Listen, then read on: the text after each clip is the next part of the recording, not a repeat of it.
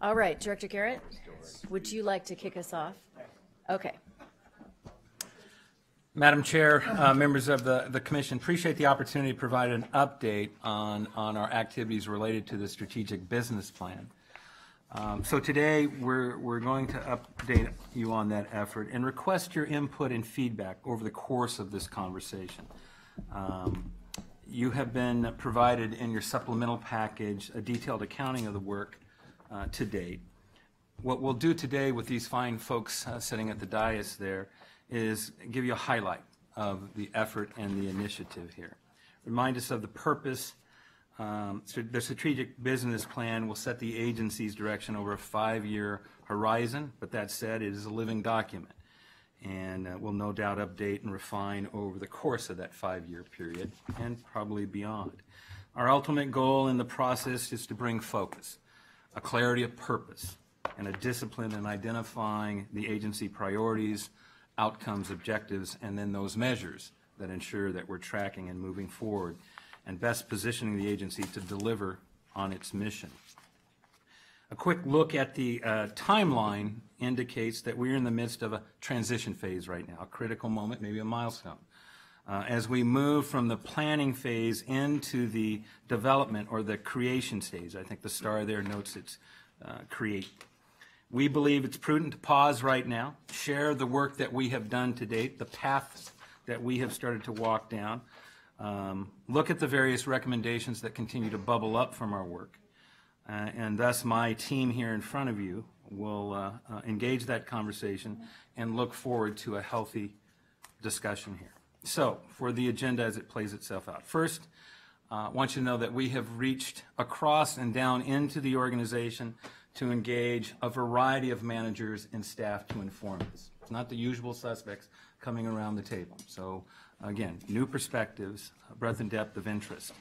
You'll recall that we identified four working groups that were charged to engage in a deeper dive into the key themes or those core elements that were identified by a leadership team, uh, but also were identified through Pivotal's baseline assessment of the agency that the commission had engaged in, the pestle analysis um, that was conducted earlier this fall.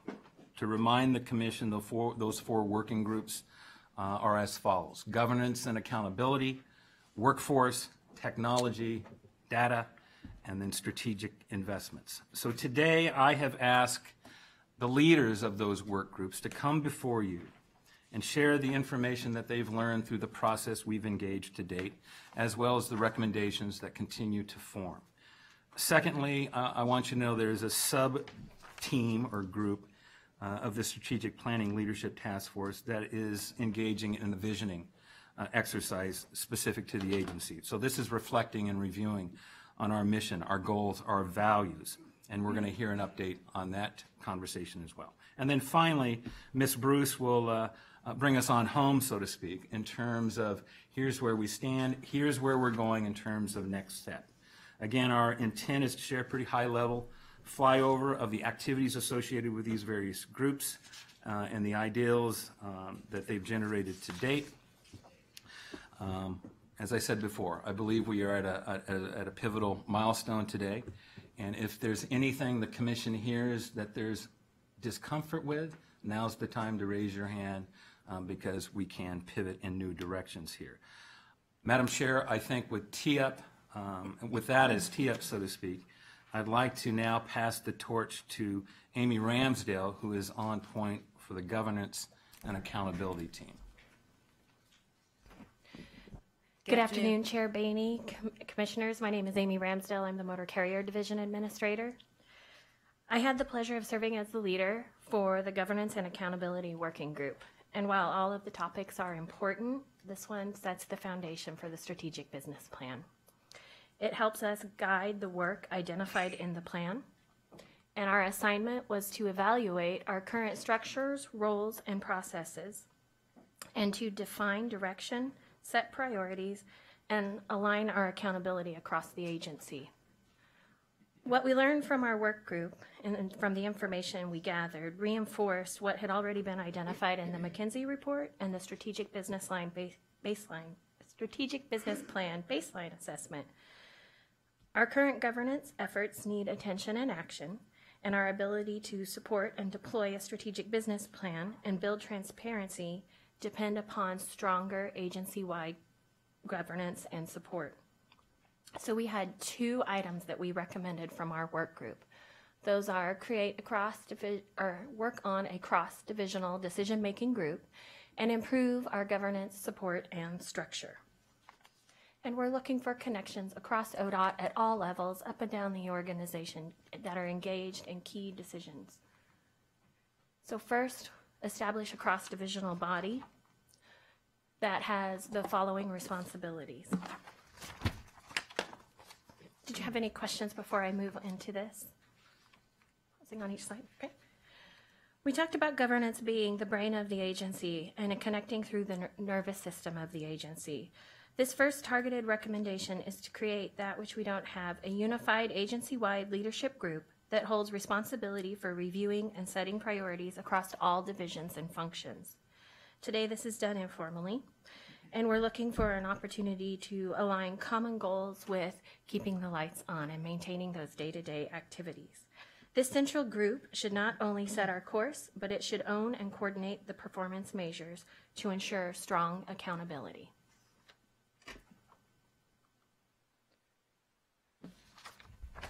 Our second uh, recommendation revolves around better coordination and communication of those priorities.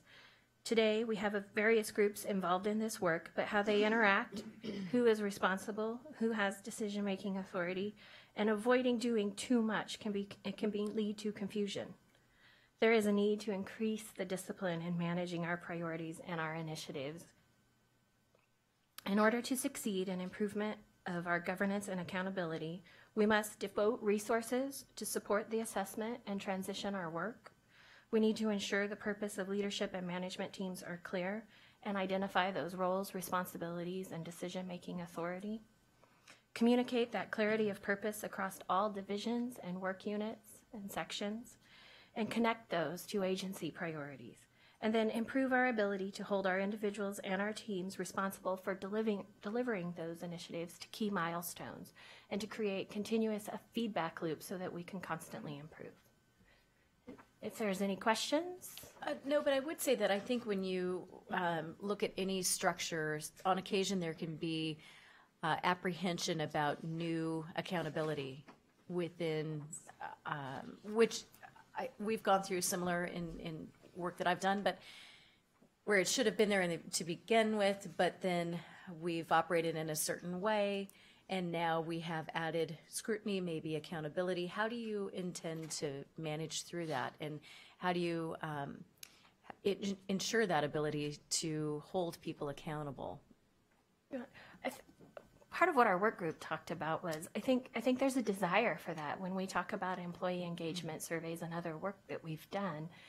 I believe staff have a desire to see that change, but you need to manage that with a strong change management process to ensure that people are comfortable and you're taking measured steps. Mm-hmm.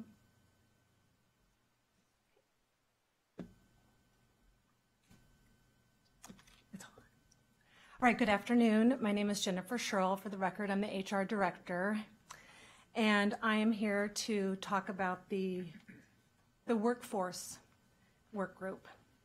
And the workforce group explored a multitude of issues and challenges that we face currently today. We know that we have committed, dedicated, and passionate employees who do the work that's necessary each and every day.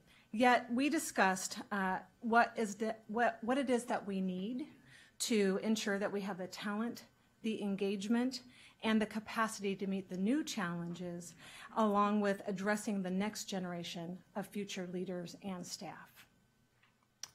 So with that, our assignment really was to focus on how to build a sustainable workforce, not just for today's needs, but for the future requirements. And through our conversations, we learned that there are many obstacles that we face today when it comes to hiring, retaining, and leading our teams. We, re- we recognize that we need to be more agile, stronger, and forward thinking. And we felt that in order to do this, it was everyone's commitment to come to the, to come to the table to help. This was not just an HR's issue to solve. So therefore, we had um, multiple conversations. I could come to you with a laundry list of recommendations for the OTC as well as the task force to consider. But we truly felt like, at this point in time, what was important for us as an agency was to be very strategic and intentional in our in our recommendations. And we have two specific recommendations. One is on the development of our leadership to cultivate and, and uh, identify a stronger leadership, along with increasing our employee capability to help with the engagement and overall job fulfillment. So I think we can all recognize that these are certainly not two key things that are new to us. They're not revolutionary. They were hi- highlighted and identified as themes in the Kinsey, re- McKinsey report, along with um, ODOT's prior engagement surveys. But with that, we truly feel like we need to take the step and move forward. So on behalf of the workforce group, I'd like to describe just briefly on what leadership excellence means for us. It includes, um, leadership excellence includes improving leadership capability, which helps us identify and develop the right type of leader that we need for the future. And it can be accomplished through rethinking our performance management structure and accountability expectations. ODOT has a deep desire to empower leaders at every level. And what that means is that we want role models. We want folks that we can look up to and look out to at the same time. In, in other words, we want that see it, believe it type mentality that enhances the credibility and trust within the agency. The second recommendation is on employee capability. How do we build that? What does that look like? It's two words, really. Two words are connect and value. Employees want to connect with the greater vision of ODOT. They want to, which enhances that link between what it is that they do each and every day to the vision, to the mission, and to the priorities that the agency will have and will have and currently has and will have in the future. So we feel that by focusing on these two key areas, we will enhance our current capability and enable our employees, current and future, to be the ambassadors of the agency. Thank you. Do you have any questions for me? So I have a couple questions. So if we have tried this in the past and it hasn't worked, what are we trying this time that's different? In terms of if we've had surveys that have come back that we've struggled in this area, because really for us to implement House Bill 2017, all hands on deck in terms of being able to make sure that our workforce is ready and feels trained and supported and, um, you know, in the game to be able to help. Uh, what do you see that's different this time than maybe what we've done in the past? So Chair uh, Please. Commissioners, uh, my name is Kelly Bruce. I'm with the Strategic Business Services branch of ODOT, and I'm the project manager for the Strategic Business Plan.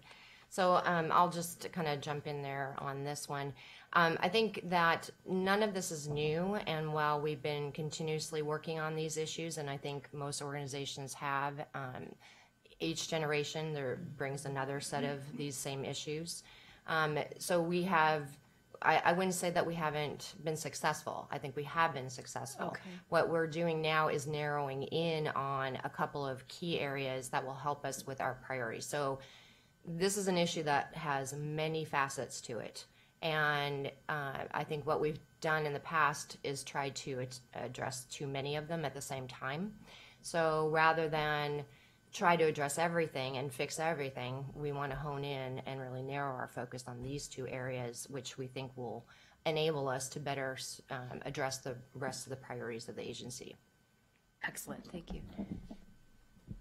Just, um, and I don't know, Jennifer, if maybe this is one for you, and maybe it's challenging to, to answer, but if we look at a 10-year horizon, obviously we have um, a retirement bubble, and we have a lot of talent here um, that may be getting to that point where we're, you know, mo- moving on and retiring. Um, One, are we competitive in a compensation standpoint? Are we able to attract and retain talent that will allow us to execute this bill? And if we're not, are we being honest about the conversation? Because we as commissioners need to go uh, down the street somewhere and say, hey, we've got a, we need to make a request here to, to, to up how we're addressing this so that we can attract and retain talent because we're going to be losing um, a lot of institutional knowledge to retirement um, and otherwise. And I just, I think it's one of these things that, it- are we as a commission empowering the department to be successful in the long run?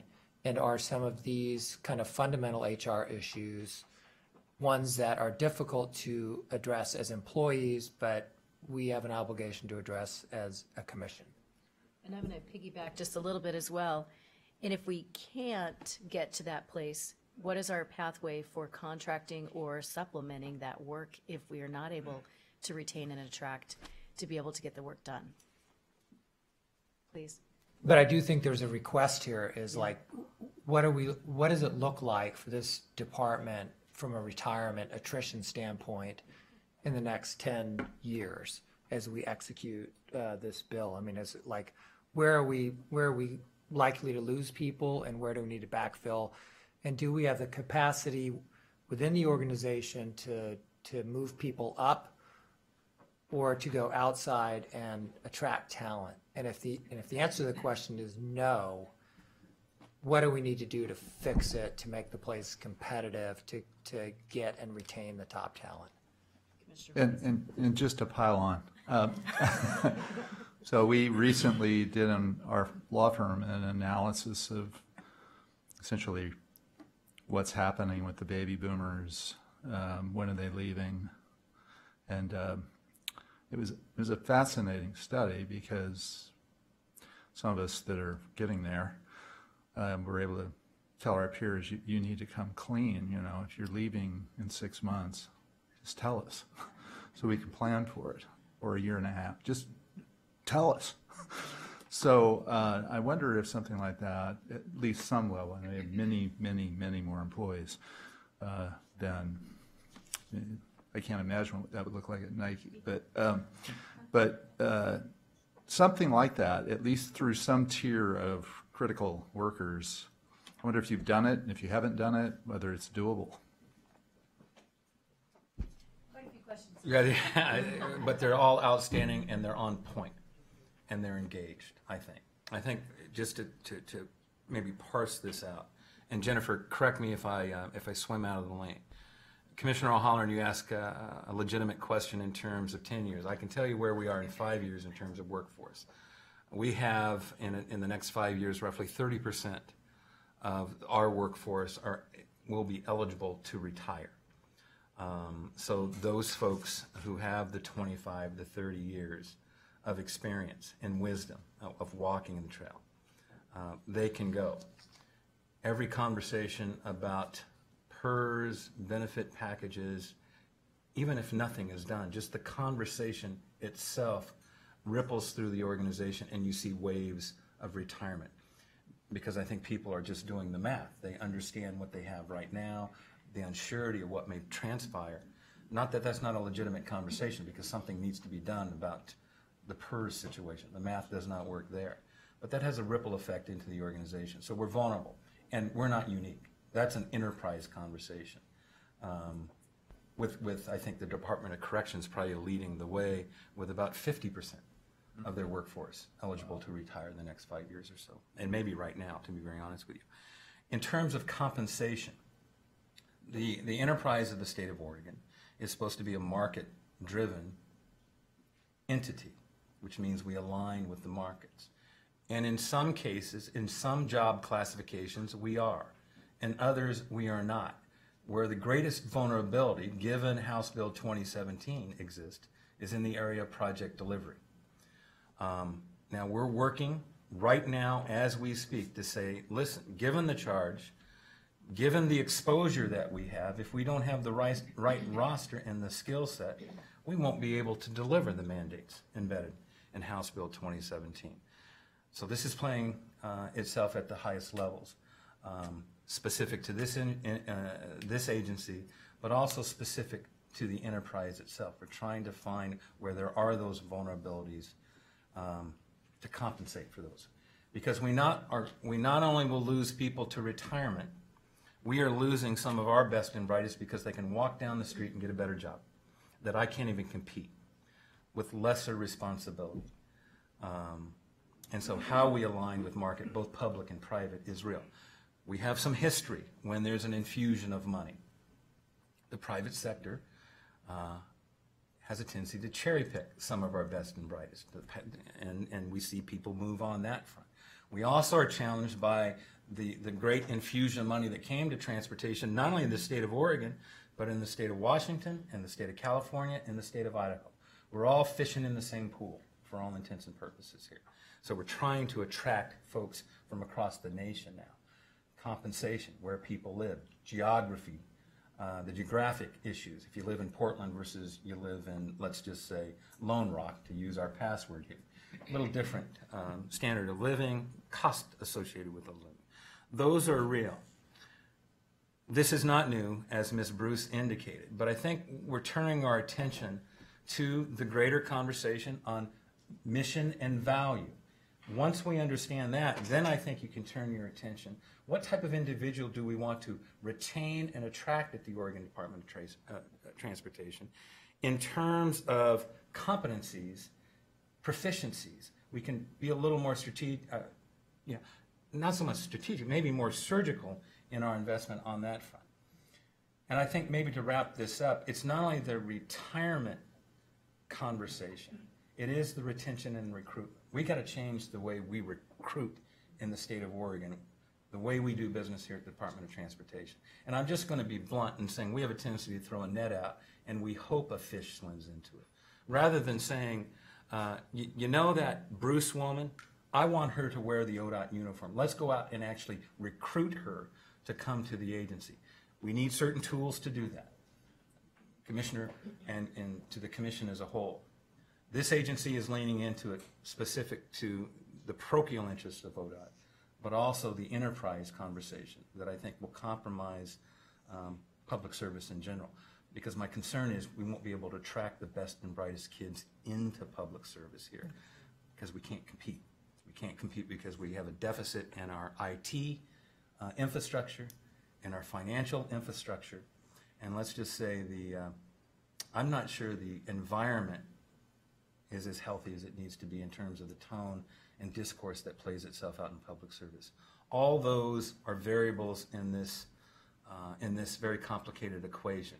And maybe just to wrap this up to the point that I think you were making, um, this agency would, uh, would completely embrace the commission in forming that discussion uh, in terms of positioning us for success.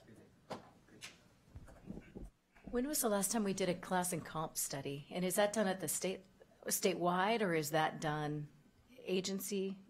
Am I striking a nerve here? No, no, no, you're not. Okay. This is a legitimate conversation. Okay, It's, it, it plays itself out on a couple different levels. For representative individuals, it's done about every two years. It had been over a decade, maybe two decades, in the management ranks here. There was a class and comp effort engaged. It was informed a couple years ago. But for a variety of reasons, we've somewhat stalled uh, in terms, again, that true alignment with market here. And that's an enterprise conversation. good, thank you. Ma- Madam Chair, I, I- I think it, it does kind of strike a chord that it's something we need to look at. I think so, absolutely. We're, we might, we don't want to be drugged by it, we want to actually get in front of it, so um, please continue. We obviously are interested in uh, what you have happening, so. Jennifer, is it back to you or to Tom or who? Okay, great, thank you. Chair Baney, members of the commission, for the record, my name is Tom Fuller. I'm the Communications Section Manager for the Oregon Department of Transportation, and I'm here to speak about the Data and Technology Work Group of the Strategic Business Plan Task Force. And the pages in your supplemental review packet are 18 through 26 if you want to um, reference those at all. Let me clarify first uh, with a couple of definitions because when you talk about data, you talk about technology, you can pretty much fill in the blank. So we defined technology as software, applications, hardware, infrastructure, and innovations that enable us to do our work. We define data as raw facts and numbers that we use to develop knowledge and which we rely upon to run our organization and to meet our customer and our partner needs. So with that in mind, we had a very dedicated group of folks from across and up and down the agency that got together. And in fact, there's a picture on the PowerPoint of one of our meetings. You can see the top of my head in the back of that picture. And we were given an assignment. And that assignment was to really evaluate the needs, the capabilities, and the challenges regarding the use of data and technology at the Department of Transportation. We wanted to look at what's working well and where our biggest opportunities lie to enhance both our current use and also our future use of technology and data to make information more reliable, more accessible, and more useful. So what did we learn? We learned that our overall approach to kind of defining the needs, the investment in data and technology is admirable, but not well coordinated. Our group looked at it in terms of a puzzle. There are a lot of pieces out there, but we're not quite sure where they fit together to make the big picture. And it leaves our, our agency at sort of a technology debt where we have systems and infrastructure that is aging and not sustainable, but do we have a good plan for how to move that forward? And more than that, look toward the future so that we stay ahead of the trends so that we're serving our customers with the best data and technology that we can. We want to be more proactive and less playing catch up. Right now, we spend significant time, money, and resources but it's not in a coordinated way. We need to channel it to create more benefit. So our recommendations basically are that we need stronger agency-wide coordination and more deliberate actions to receive this uh, benefit, this sort of return on investment, if you will, both in the short term and also in the long term. We have a lot of positive efforts that we're building on, but we need to unify our decision-making process and our actions to support more effective technology and data investment priorities. So how are we going to do that? That's the next slide here. We recommend an integrated approach to, address our data and technology needs we have a couple of very important pieces that are already coming into place in this puzzle that will help us along. We're very fortunate that really good minds around the, uh, agency were already thinking in these terms. One of them is the DOT Strategic Data Business Plan. And if you haven't had a chance to read it, I would uh, recommend it to you because it's very forward leaning. How can we understand what data we have, how can we make it more reliable and sort of the, the truth, the true record, and then how can we um, make it more useful and available to our customers and our partners. So we're going to build on this rather than reinvent it. The second one is uh, I just had a, attended a presentation of this, uh, what time is passing too quickly, two days ago. Thank you. Uh, which, right here in this room, which is um, a, a, technology assessment through a uh, contract with the Gartner Group, where we looked across the enterprise at all of the implica- or applications that we have created, and what is their state? Uh, are they ones that should be migrated or eliminated? Are they ones that should be invested in? And it's, it's a very detailed assessment that gives us a roadmap with how to move forward. So we have both a, um, a way to move forward with technology and a way to move forward with data. And I look at it as kind of a three-layer cake. The bottom of the cake, the bottom layer, is what I would call the discovery layer. What are the needs that are out there in the enterprise and in our customers, and what are the resources that exist? The middle layer I call the collaboration layer. We talked about in our work group the, uh, and in this, the presentation about the Gartner assessment, about the need to develop a new discipline in our organization.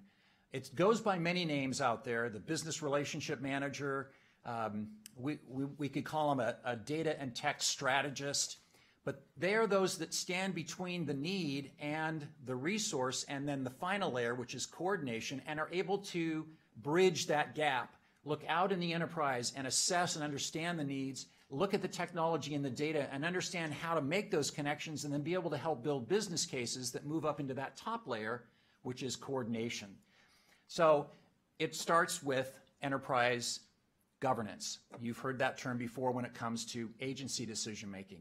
The group also felt that it was important when it comes to data and technology decision making because right now at the Department of Transportation, many decisions around data and technology are made by what we call communities of interest, but they often act in bubbles or in silos, and they either are unaware or perhaps even unwilling to share resources, share ideas, and have more effective development of technology and data.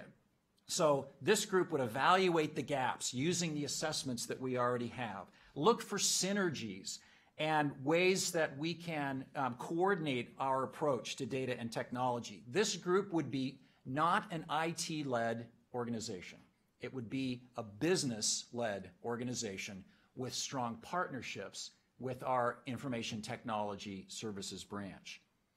The second approach then is strategic modernization, where we would have stronger governance building on our recent efforts and then establish principles for uh, going forth and plans for how we would better utilize our technology and data resources. So we would build on our recent assessments, establish the principles, and then develop this roadmap with how we move forward. Then and only then, I think that we can have the third uh, part of our recommendation, which is the focused development. Whereas today it's very unfocused. We are, are um, suggesting that we can be much more focused as we work on our governance and our strategy, supporting the, um, the enterprise from the, the bottom part, the collaborative part, and then bubbling up to the uh, coordination part. We want to uh, enhance the roles of people around the organization, find ways they can work cross-divisionally. And one of the examples that was used was um, two parts of the organization, both using data sets, both wanting applications written in order to analyze and use those data sets. And the realization that, except for maybe a couple of fields, those data sets are identical. And instead of spending all the time and resources to develop two sets of data, two applications, which then must be maintained over time, we have a business analyst that helps them create one very reliable data set with one application overlaying it with two sets of business rules so that they are able to both obtain their goal, but we have become more efficient as an organization. Questions?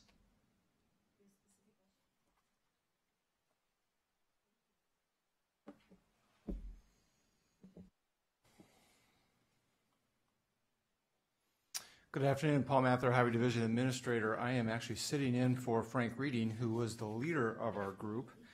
Um, and I'm going to talk to you about strategic investment. Um, I was on this work group and was really uh, enjoyed working on it. As the, during my career, I've seen um, frustration within the department in our decision-making processes, as well as I've been, as I've been in front of you, seeing commission at various times frustrated um, in, in making uh, investment decisions uh, for the uh, for the department. Our job was to um, uh, look at those existing processes that we have and try to optimize our decision-making processes. So when we, we talk about this, it's the uh, transportation uh, plan that you um, develop, the modal plans that go with that. How does that translate down to the STIP and then to the budget, to our level of service conversations? What what guidance do we use to make those make those decisions?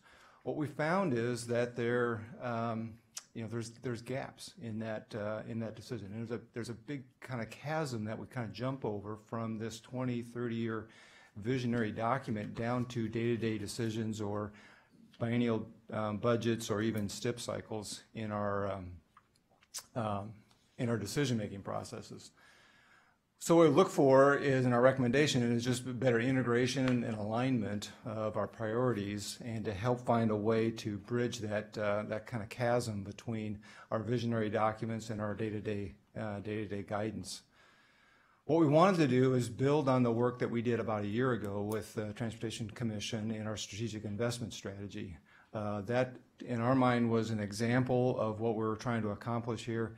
Um, While it was just a, a kind of a subset of what needed to, it, it gave us a good ex- tangible example that we could use to, to build on.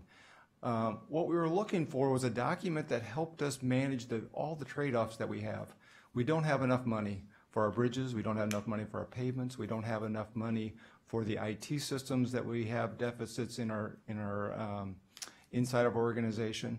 But we wanted to have a good understanding of the condition of the system as well as a good understanding of the condition of the agency.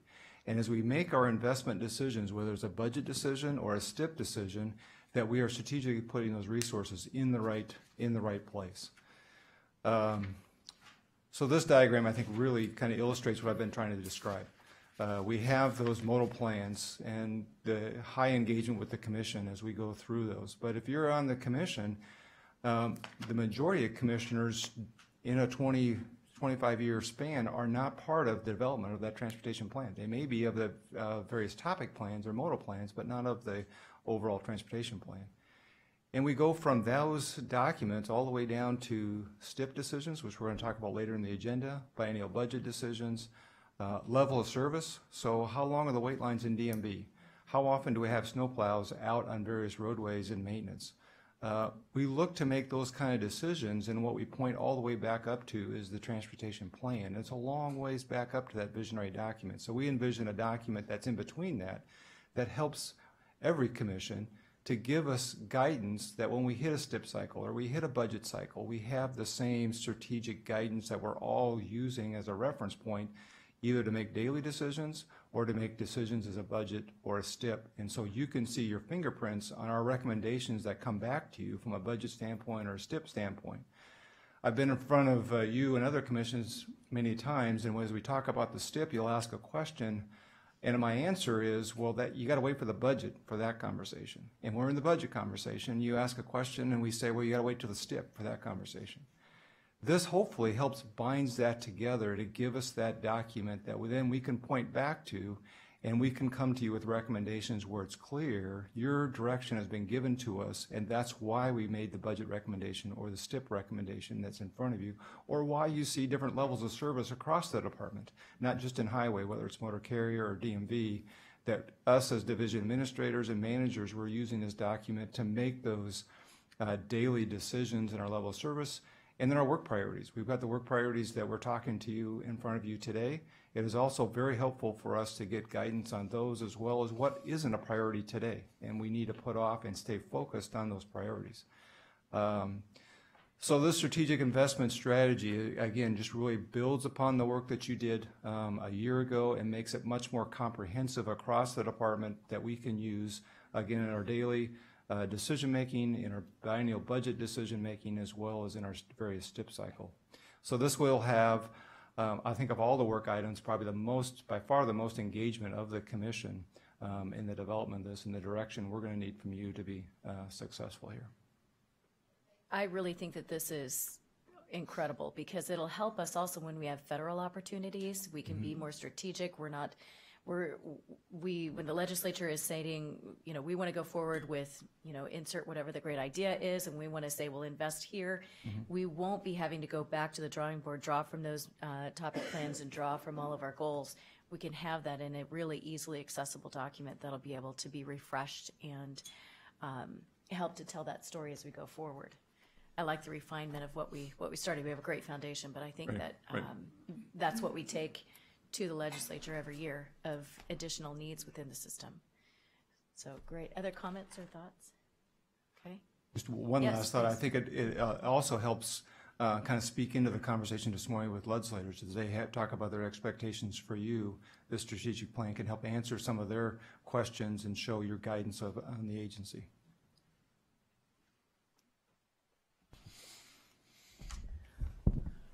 So, uh, good afternoon. Uh, For the record, my name is Jerri Bohard. I'm the Transportation Development Division Administrator. And um, I helped co-chair, um, sort of uh, revisiting and and potentially refreshing our mission and our values um, with uh, Travis um, Brouwer. And um, we, we, re- I think we recognized as we went through the strategic business plan, it was really important to look at the foundation of the agency as we did that.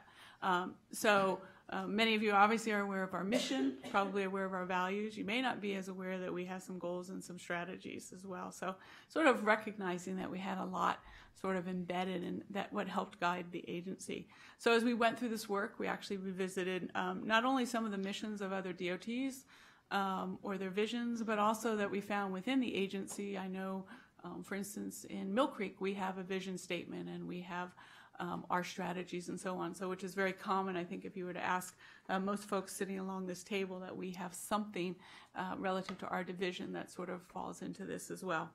Um, so we really recognize that there was some work to do here. I'll tell you, this is probably the one um, where it's the most uh, drafty, for lack of a better word.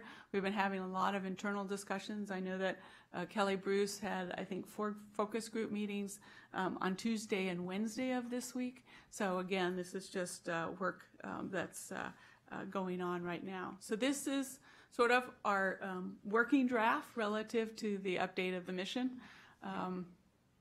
You can see in a lot of ways it looks very familiar to our existing mission. We were trying to, I think, refresh it, kind of bring uh, new words that perhaps resonated. Uh, so, for instance, Commissioner Baney, the word healthy. So, that's obviously been a theme as we think about that.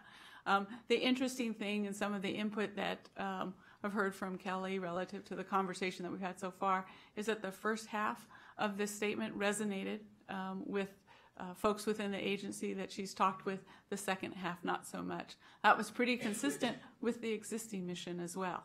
So, um, so still have a little bit um, of work to do. But important to remember when we think about the mission, it's what we do, how do we do it, with whom do we do it for, um, what value are we bringing, and really how do we make it compelling? How do we inspire? So, so as we think about the words that we want to put there, those are the things that are going through our head. I think, you know, most importantly, um, is that we recognize keeping the mission um, fairly short, um, that uh, people can um, repeat it. And, and we've seen the real value in that. There's a lot of ownership right now to the existing vision and we, or mission, excuse me, and we certainly um, wanted to take advantage of that.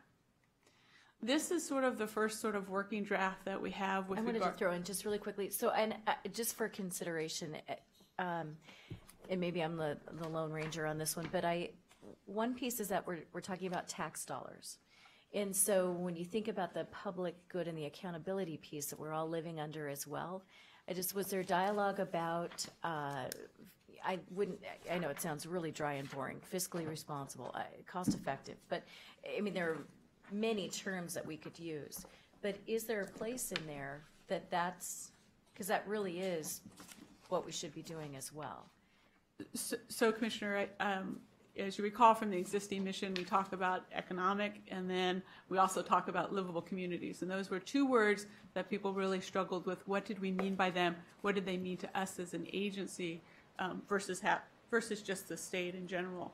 So that was one of the reasons we started to look at the word prosperous to give us a little bit of flexibility with regards to that, and also with the word healthy. So that that was sort of a lot of the conversation that we're having. So I would say yes, we're very very in tune to sort of the economic responsibilities that we have. Certainly, we heard that um, Senator Boquist this morning. Number one thing is that you know, in order for um, the agency to move, the state to move forward, it's all about transportation. So that's why I think there's probably a little bit of work that we need to do on the second half, but that certainly was the intent relative to the prosperous. Matt, I want to make sure your question was answered, at least the way I interpreted it. It was more on the lines of stewardship and that obligation, rather than an economic overlay. Right. So I was going to get to that. You're going to get to that. okay. The- And I'm thinking the financial stewardship, we just call it outright, so Yeah. that we are leading from the, we, we understand there's a responsibility here. Right. So um, when we talked about the values, I think the one of the things that when we think about the values, it's how we do our work. How, how do we as staff do our work? What do we think about as we do our work? And so um, one of the things in our um, other values that had activities, it, it, it was sort of a mismatch of different things. So what we were trying to get to with this working draft is really how do we think about it when we do our work? So to your point, what we were trying to get to in integrity was as public stewards. We're committed to being accountable and transparent and hold ourselves and others to the highest ethical standards. So we were trying to get to the public stewardship and again, that accountability, which is certainly a theme through House Bill uh, 2017. Again, maybe um, some work that we need to do on the words, but we certainly had uh, your intent in mind as we were working on that value. So. Uh, So I'll just close by saying one of the things that you don't see up here yet is the vision. Um, as an agency, that isn't something we've had agency-wide as a vision, so we've been doing some work on a vision. Um, I think we had a draft language, and I think if Kelly were to tell you that she talked to 100 people, 50 liked it, and 50 really didn't like it. So we still have a little bit of work to do on the vision, so um, I would say uh, stay tuned for that part of it. Get this back to Kelly. Are they done? Thank you. Oh. Did you have another question? Okay. Um, so, again, as we noted, we've done a lot of work so far on the strategic business plan. Um, and it's really the foundation work that we've gotten to at this point. Um, so this is what we will begin to build the detailed plan on. Um, and all of the ideas and the information that the working groups provided, um, in addition to our current list of priorities, which is something that we've begun listing out as well, so that we can take a closer look at what those are um, in relation to uh, any new priorities. Um, and we'll be building the what and the whys for each of those as we go along. Um, that work will start um, over the next month and a half, and the goal will be then to um, launch into the implementation in January. Oops. So our next steps um, is to really finalize the work on the mission, vision, and values um, that we were just discussing. Um, confirm the outline of the plan documents and the plan content, and so that's one of the things that we're looking for your direction on today. Um, are these the right arenas for us to be looking at? Um, and then we do want to do some um, stakeholder engagement, but we want to be very targeted with that. Um, I think most of the engagement we're looking at would be post appro- your approval of the plan, so it'd be more of an awareness and getting um, uh, a lot of just understanding around what we're doing. But there are a few groups we think we would be worthwhile to engage with prior to that finalization in January. And so we're thinking um, one of the groups would be the ACT chairs, especially in terms of the strategic investment concept, so that they can kind of grasp what we're talking about there.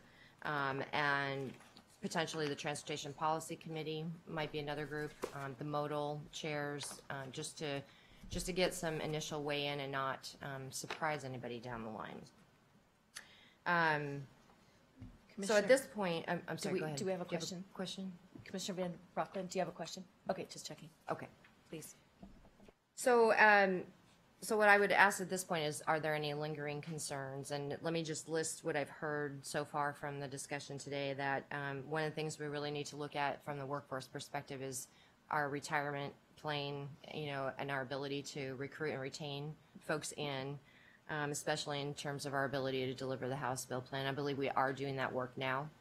Um, and then also look at how do we incorporate that fiscal responsibility a little more clearly and crisply in, in the mission and the values piece.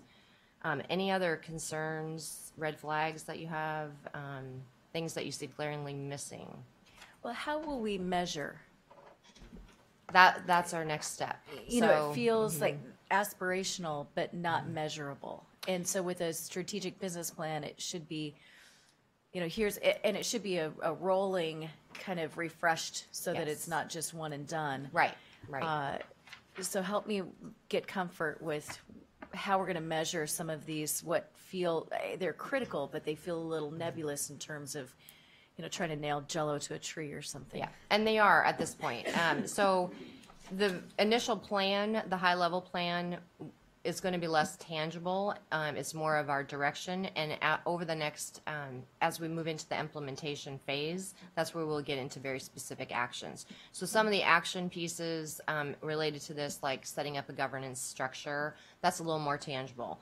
Um, but then as we move into what actions are we really going to take to improve the workforce? What actions are we really going to take in terms of the technology and the data? Um, I think the strategic investment is a pretty tangible one. So once we identify in the implementation phase what the specific actions are, we can attach those measures to that. Yeah, this is a, a good start. I, uh, I wanted to circle back around the workforce piece because it seems like this is obviously a very important element related to the prosperity and success of the department.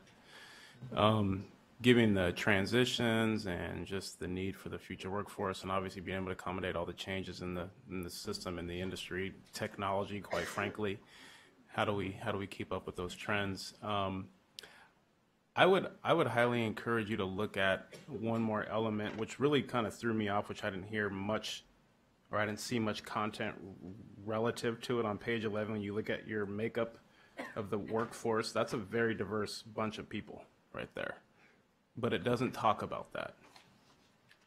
Um, it doesn't speak to what this group, which I would assume based on this imagery, would be what your aspirational workforce makeup would look like. And I don't see any content that supports that imagery right there. And I would assume that for the broader public, they would they would concur with that assumption. And I, what I was gonna where I was gonna go with this was is that in I think believe I believe in Portland the elementary school system right now is over 50% diverse students that is a major demographic shift that's coming upon us. And in the country as a whole, I believe it'll be over 50% people of color by like 2040. So these trends that are coming and these shifts, if we're as an agency looking to recruit that next generational workforce and we're looking to be prepared for what our future system is going to look like and all the needs that we have, we are going to have to communicate to that cultural demographic and it's very prudent and important that we that we outline that and we identify that and we talk to that. I, I can see it's aspirational here, but it's not explicit. And I would prefer that we get a little bit more explicit around what our true goals are uh, as it relates to our workforce and our and our growth opportunities as an agency in the future. Because quite frankly, I, I honestly believe that there's some elements in there that says that speaks to our competitiveness with the private sector and may not be perfect, but it's not bad. I mean, this, this, is a pretty good job this agency provides with the benefits that come along with it. And I would assume there's a lot of people that, that would be very eager to have those types of jobs. So I wouldn't undermine the value that the department provides to the community, but I would just I would just caution you that that, that if that if that if we are going to set these principles and values that that we that we get a little bit more explicit with the content that we put in our own in our own um, plans and drafts and whatnot. Um, that was that was that was my only focus. But other than that, I think it's you guys are on it. Thanks. Great. Thank you, Commissioner Simpson. Other, please, Commissioner Brown. I really like the work that you've done, but I struggle a little bit with the strategic value. And I only say that because after we just got pounded upon to be the board of directors, a lot of what I see is a management focus. And this is the inward look in a lot of cases, not in all cases. I think some of the stuff that Paul brought up and some of the, what you brought up at the end, Kelly, with, you know, where we're going with some of the next steps. We've got to realize we're looking at a strategic business plan and there's two audiences. And I think we're struggling a little bit with that, I think. I think we've got a lot of the management pieces on the front end and looking aspirational, absolutely, that's strategic on what we want to be, but the inward look on how we get there is a management function. So I, I see that we continue to mix those up. And not that it's a bad thing and we all want to chase the answer, because that's what we do. But I, I want us to be careful at this level, be that board of directors, look at what you've all done, and again, it, what you've done is great. It it has nothing to do with what I'm saying from this level, because I think it had to be done. And you guys are doing a great job of looking at it. I think for us, we need to be careful, if we're the board of directors, are we being a board here? Or are we being your leadership team?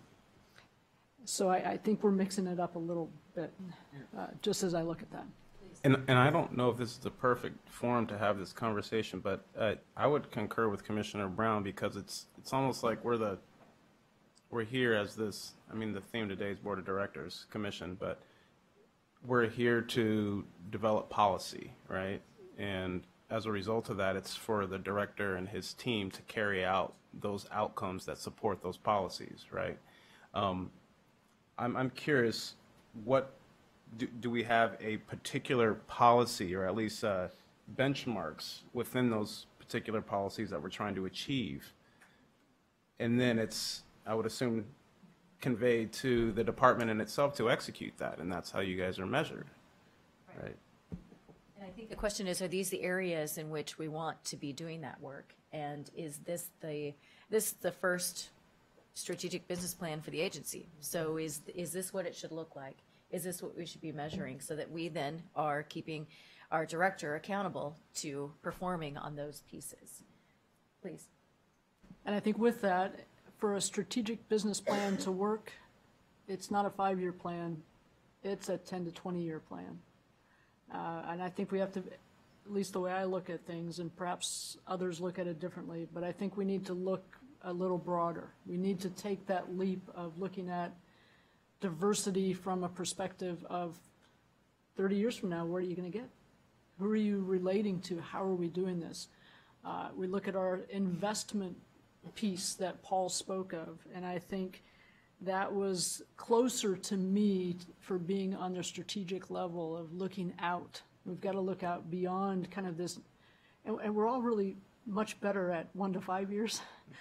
And it's hard. It's hard to get past the five years and into 20 to 30 is like, oh, it's way beyond me. I'm not going to be here. And that's the problem with our group. There's maybe two of you at the table that probably will be here, but maybe not. Uh, you know, it's a few people in the audience that need to provide a little more ex- exploration into this planning and strategic planning process.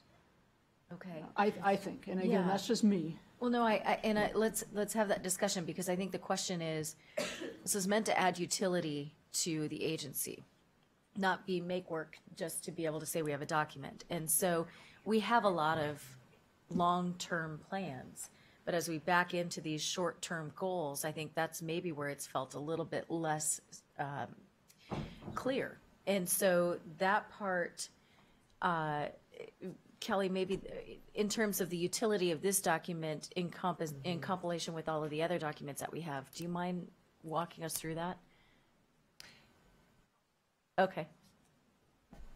Um, I think, you know, it, uh, where, when we start off too, we, I think, had some confusion between like the transportation plan, which is a twenty-year plan, which is really a system plan, and it's a strategic plan for the state and the transportation system.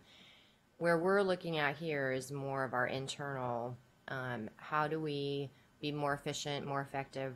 Um, what initiatives do we take on over the next, you know, three to five years? And it's meant to be an evolution and, and really it's a foundation for continuous improvement. Um, so I think they're, they are different purposes. Um, but I, I hear what you're saying too about having kind of a long-term vision, a long-term um, strategy that we're working towards that lasts the, the, you know, test of time to some degree for those of us, and I'm not one of them who will be around that long, so. Um, but, you know, it, I think that's, that's really what we're, we're talking about is, um, how do we internally get focused and, um, narrow that, um, alignment of our priorities and be more deliberate in, in our priori- prioritization process um, for what we're working on. So it's and it's separate from our daily, everyday work to keep the lights on and you know keep licenses being issued and you know those types of things.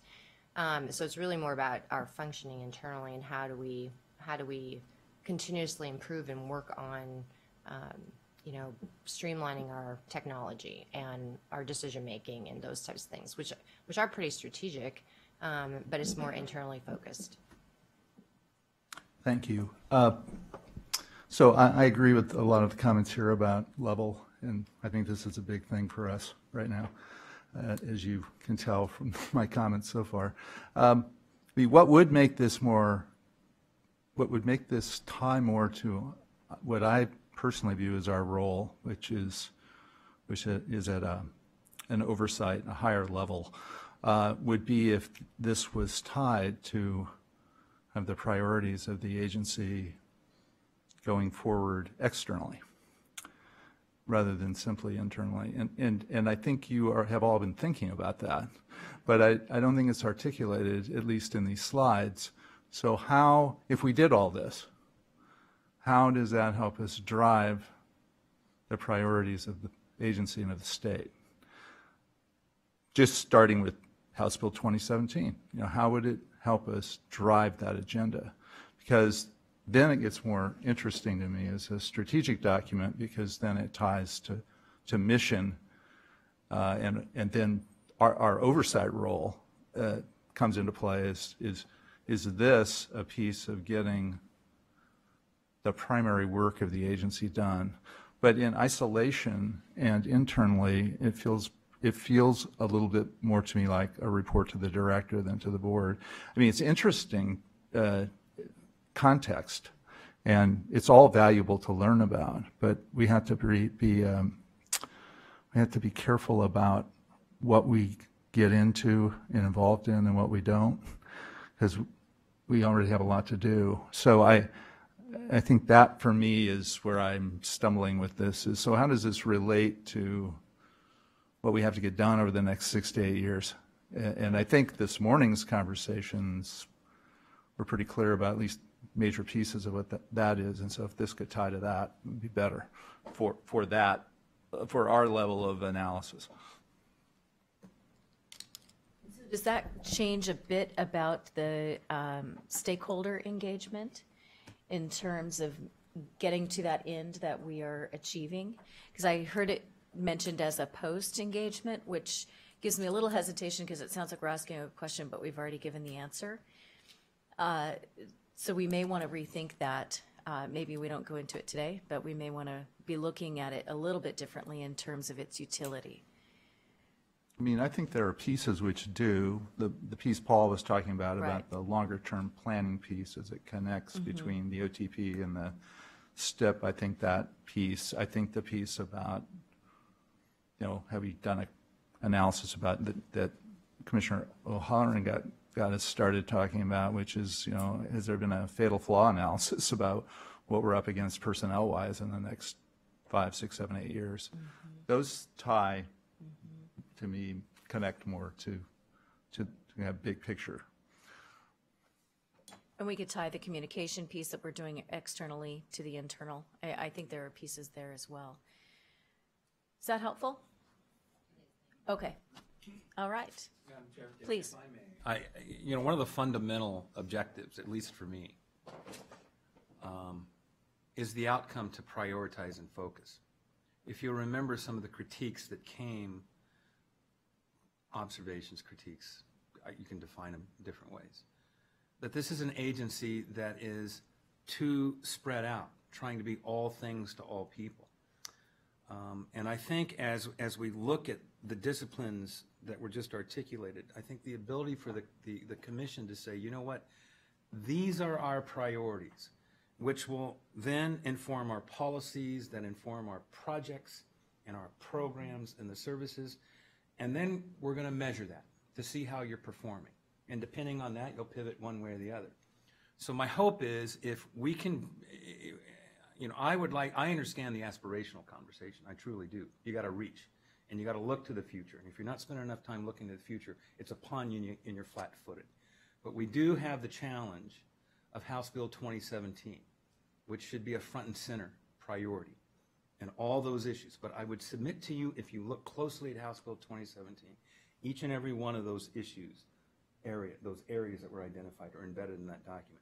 So now with that assistance to focus on delivering that, how do we ensure we have the, the resources, be they financial, human, or technical, to deliver on that? And I think that's where we use this board of directors almost as a barometer, right? Is it coming at you? Does it feel right? And if not, then you course correct us and saying, this is where we need to go.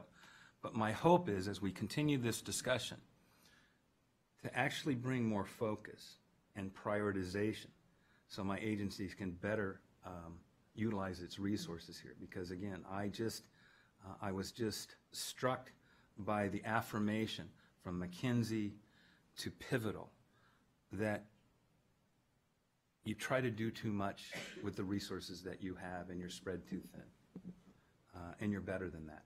So somehow bring it on back. And I think that's, that's where we need to, to ensure that our effort is not, again, displaying out where we want to go, but actually focusing in, which means some difficult decisions internally and externally. So to the point of who do we talk to, we're going to to talk to all parts of this conversation because there's a cut line. Mm-hmm. And you're either be above it or below it if we're going to be more disciplined from where we stand right now. So mm-hmm. that's kind of the push I'm telling these folks. Be more disciplined. Quit saying yes to every IT project across this agency. Let's prioritize because we don't have enough money mm-hmm. to invest. But where we need it to deliver on the priorities, that's where we need to focus our energies here. The workforce, what are the skill sets that we need?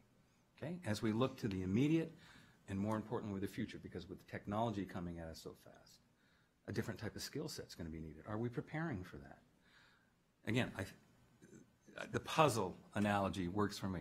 I think the pieces are out there. We just got to put them together, make it work. Please. I think it's a, I think it's a good start. I think you have, for any large organization, you have to have a strategic plan that should outline a vision, and it may be a little pie in the sky. Um, and I think it's supported by tactical execution, which is a little closer to the ground and a little more tangible. So I think if, if we look at where we were a year ago and, and the work that's been done here, I think it's a really good start. And um, I think it'll be easy to shoot holes in it all over the place, but if it highlights a couple key things that strategically prevent you from doing these tactical executions, it's, it's a, it's a worthwhile exercise. And, and um, I, I just think it's always going to be a little aspirational. It's one of those things that's not, I, don't- I don't think it's a fixed document. I think it's something that you dust off as the agency evolves and as the needs of the state evolve. I think you have to evolve the strategic plan, and I think, but I think it's, it's good to have one.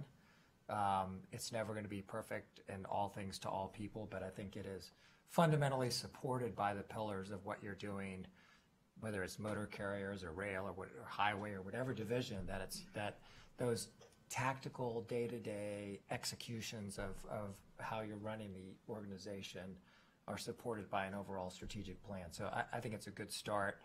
Um, it's not going to be perfect and just accept that and, and that it's going to be a a living document that's going to be tweaked along the way. But I think it's the right direction to go and good to have. Okay, Thank you. thank you very much. All right, next we're going to have a discussion, a bit of the follow-up from our roles and responsibilities discussion from the October meeting. And I've abbreviated this just a tad bit because I, I want the commission to know that I think we'll do a deeper dive in December.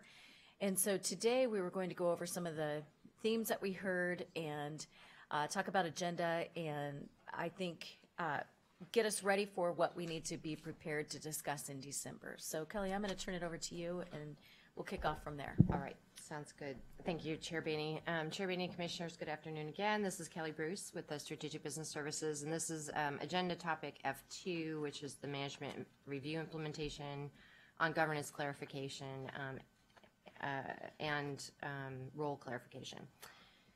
So, uh, just to remind you of that management review task, the McKinsey report had identified um, some conflicting messages around the authorities and the roles um, between the commission and the governor's office and ODOT.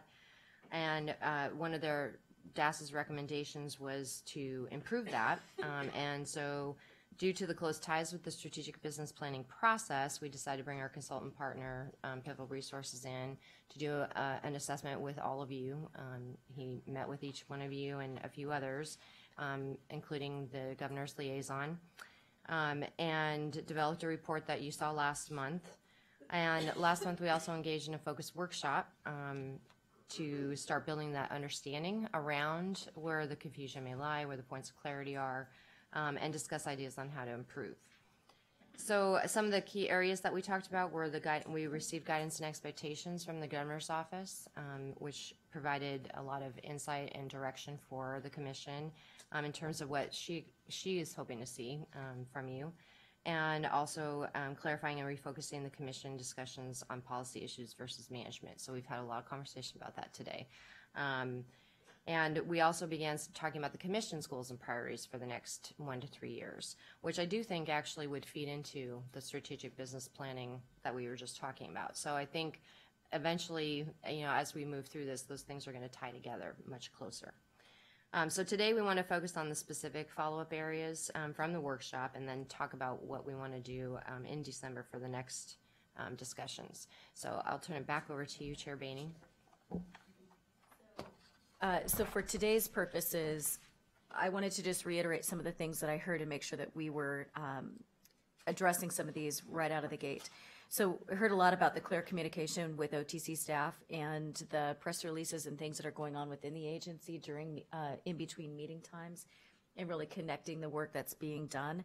And I know that that has been uh, already uh, put into our inboxes in terms of what's going on. It's the agency communication, and so I had an opportunity to read that. It's a compilation of the uh, kind of press releases as well as other work that's going on. Uh, we were talking about exercising stewardship that's required in House Bill 2017, and we covered a lot of that this morning in ways in which we're going to be working with that. The confidence and trust, and then tools to assist us with that, the metrics that are necessary for us to measure the work that we are doing and make sure that we are on track as an agency and as a governance body, tracking that work as well. Are the delegated systems in place meeting our needs? Do we need to refresh and look at the things that are currently delegated? Uh, Given House Bill 2017, I think the answer is yes, and so that is something that we'll bring back next month to take a look at. And I heard a lot about the onboarding, or the lack thereof. And so Commissioner Van Brocklin, we are, you are our uh, test pilot in terms of seeing how that's going, but uh, we have had a, a number of changes with the commission over the last handful of years. And uh, a, a bit of that that's not been on our own um, accordance, we've um, been bumping along a wee bit. And so trying to really strengthen that and make sure that as commission members come on and to Commissioner Brown as well, uh, we really want to make sure that you have an opportunity to hit the ground running with all the right information. So um, that's something that we're working on as well. So in terms of um, structure for our meetings and getting the right information to commission members to be able to make good informed decisions, uh, with new members coming on and with transitions, the use of links and cover letters, as we heard earlier today, is really critical in terms of that staff report to the information that's being provided, but then also links to the historical ways in which we got to where we are today. JTA is an excellent example, understanding JTA, the um, legal ramifications around that in the statute, and then uh, also what that means to the decisions that are before us. So uh, as I go forward in populating the agenda, as you can see, and Lynn is going to talk about the agenda in particular, but we did an exercise of what is in on the agenda and what is out. And as you can see, really lonely on the right-hand side there is the out category. Um, the in category is uh, very populated with a lot of information. So in December, we will be talking about the ways in which we can focus ourselves in a meaningful way to the work that we need to be doing. So a lot of this, I, as I reviewed it, really comes down to what are we measuring? We have a lot of performance tracking, fiduciary responsibilities. We have condition of the system, systems improvement strategies, a lot of those things that are more metric driven. So I think that'll be helpful. But if we don't want to spend two or three days in a row meeting, we may want to mm-hmm. encourage the in to go to the out and figure out how we coalesce that into meaningful action for the commission. So that's a long way to get to. Lynn, I'm going to turn it to you. And a question on this list was, how do we set the agenda and how does that work? And I will tell you as chair, it is a rolling agenda population process. We will talk about certain things in our meetings and those will end up on an agenda. How soon depends on the necessity of it. Uh, part of it is to inform commissioners that are coming on without a backcast of understanding of where we got, you know, how we got to where we are. But I think some of that can be condensed down with using the links and requiring us a bit more homework, shall we say, of making sure that we're coming to the meetings, having read all the materials, and uh, up to speed before we get into the meeting. So, please. Thank you, Chair Baney and Commissioners. I'm Lynn Averbeck, the interim commission manager. And I'm just, I just have one slide to go over today, except it's not showing. It's, it's attachment three in your, there it is, in your packet. Um, So how this works is agenda items are placed on a 12 to 18 month calendar, planning calendar, from all the five sources at the top of that slide there. And then we combine that with monthly, annual, and biennial recurring items that, that we have. A lot of the agenda items come from the OTC's work plan and, and priorities.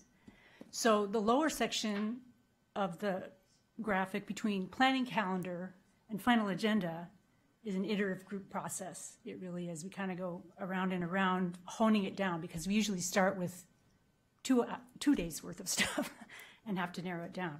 So what happens is immediately after an OTC meeting, I provide the chair with a draft of the next month's agenda. And then we work with the chair over the next couple of two, three weeks to adjust and refine that until the chair lets us know that it's in final shape. And again, it's just an iterative process up till then. For clarity, oh, go, sorry, Lynn. No, I was just going to say, please ask any questions or comments. Uh, we, I would Well, for welcome. clarity at that point, just so that you know, I don't have a copy of all of the staff reports and review all the materials. And uh, what I do look at are things such as timing, uh, good use of our, are we prepping for a decision that's coming before us in a month or two a- ahead? Are we, um, it, uh, are there deadlines or timelines? Uh, a lot of it, of course, you know, is a STIP process that tends to land on our agendas a lot. Be something that in this new um, framework of the commission that we love to hear about, but may not make the list, is the immediate opportunity fund. Those are great ways to hear about what's happening within community, but really is that where we should be it's vetted through a lot of process. It's vetted, it's with our partners at Business Oregon. Um, those are the things that we may need to look at taking off our calendar and off our agendas because we do have a policy, we have a process, uh, and we, it, is that necessarily governance and, and, and policy settings? So, um, some of those things that we love to hear about, if our policies and our, our form follows the function, there are some things that we, we wouldn't be seeing in the future. So, please. Oh, please. I guess it, it wouldn't mean that we never hear about it. Oh, The absolutely. director's report saying, hey, we just signed a new Connect Oregon grant for this and that we're all excited about it. Hopefully that would come from you. You know, I write quite a few memos to city council that aren't gonna show up on an agenda, but it's not like I don't communicate with them on what we've done and that I'm excited about it. Just because I'm excited doesn't mean that they are. Right. But I think we would all want to hear what's happening in Canby, what's happening in Burns, uh, places where we don't normally see a two hundred thousand dollar project, but it's pretty exciting for them. Yes. I would like to know that. And the use of the consent, so if we were to use that visual Exactly. again, some of those ins can go to the out, but they're actually on the consent On agenda. consent, we pull 'em And we if we need populate that a little bit more um, aggressively to make good use of our time, but also make sure that we have access to all the information that's happening as well. Commissioner? No, I I would just say that, uh, a- again, as I've, in my time on this commission, I've seen there's been a slow evolution and the stuff that we were squawking about a, you know, a, a year ago, a lot of it we've kind of addressed um, I'm listening. seamless, you know, o- over the course of time, and you've been responsive. So I, I think, uh, one, it's good, and I think we are kind of trying to get more efficient. And, um, I mean, and to the extent that we continue to meet the needs of the state, we're not even obligated to meet every month, Right. right? So I, I think it's really about how efficient we are and are we addressing the needs. I think we have a very front-loaded, um, agenda right now with the new legislation, and I think as we get into more executing, um, I, I thought that the workshop process was good at just, even if we don't implement all the changes, it was a good process to air them all. And the- the, the grievances and the kind of the things that are annoying or things that we like or whatever, but um, I think it has been a slower evolution, but I think in a positive way, and, and um, I think it was a healthy, healthy process. But um, as we get more efficient. And if we're doing our homework, we may be able to do less of the informational and more of the transactional decision-making, executing, which I think is where, as a commission, we should be. Um, Granted, we need to be informed on stuff, but we can maybe spend less time in the, in the informational side of it and more time in the decision-making part of it, and where it's not, um, uh, it's more of a two-way conversation, and that we're making sure we're allowing that, that uh, moment, that the opportunity to interact all, all the way through. But I think it's, it, it is evolving in the right direction, and I think the process is good. Excellent, and I think the longer that we are a commission and can work and play to our strengths as well, that'll really help us uh, move forward. So, uh, Well, and now that Bob Van Brocklin's here, I think we'll figure it out. right, exactly. Really glad I came down. No pressure. So, uh, but I do also want to say that I, uh, it, we've been doing a lot of front loading of information to make sure that everyone has the, the right context. But I think a lot of that's going to now have to happen before the meetings. And if we need extra information, that we do that on our own time and that we will abbreviate the PowerPoint presentations and allow us more time for discussion too. So, um, any other, please? So the only, the only thing I, I'm still not sure is, we've asked for follow-up every now and then. Where does that come? I- You know, I don't see that we get that next step, even if it's a management level follow-up. You know, I still think it was important enough for us to ask for it, uh, even if it's on consent. We can pull it. But where does that follow-up come? Well, and I think we have not had a, um, it's happened vicariously just through some of our meetings, but let's take, so when, um, we had asked last month for a, a, um, update on Wickiup, not an update, but a follow-up on lessons learned. But I, uh, the director and I have not put together a formalized process of what the timing of that might be. So, uh, I will take that on to make sure that we have a, um, if that's the next meeting seems rational, uh, then I'll take that on. Is that what you're getting at? But I think Lynn can help. I don't think it's all upon you to remember everything we asked to follow up. So I Oh, think true. as Okay. Lynn brings back the, how many items do you say you had on the list from today?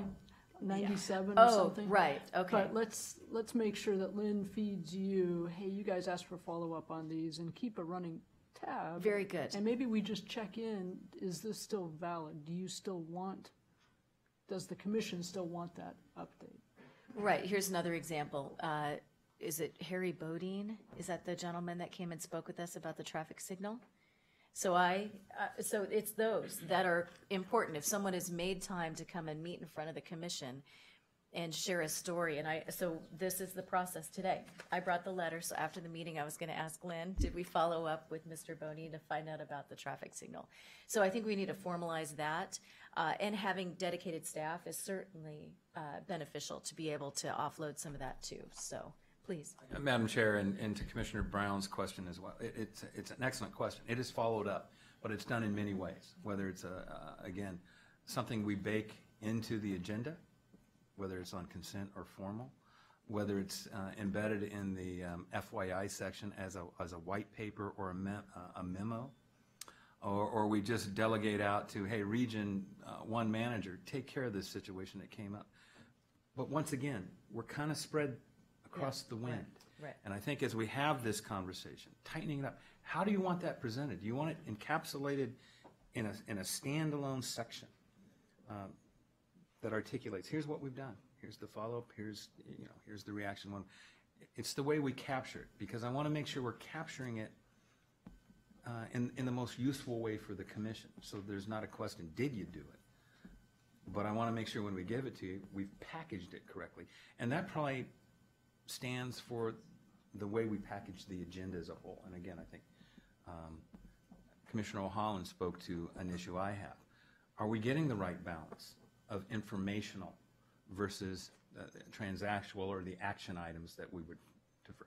Are we even capturing the, the, the construct of the way we present right?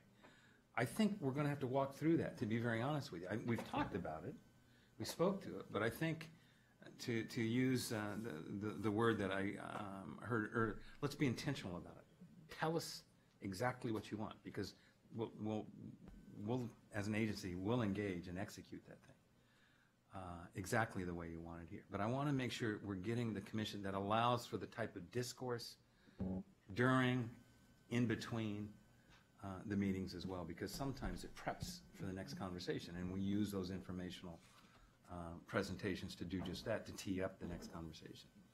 Hopefully that's helpful, but if it's not scratching it, scratching the itch, right, Let let's, you know, let's have yeah. that chat. Excellent.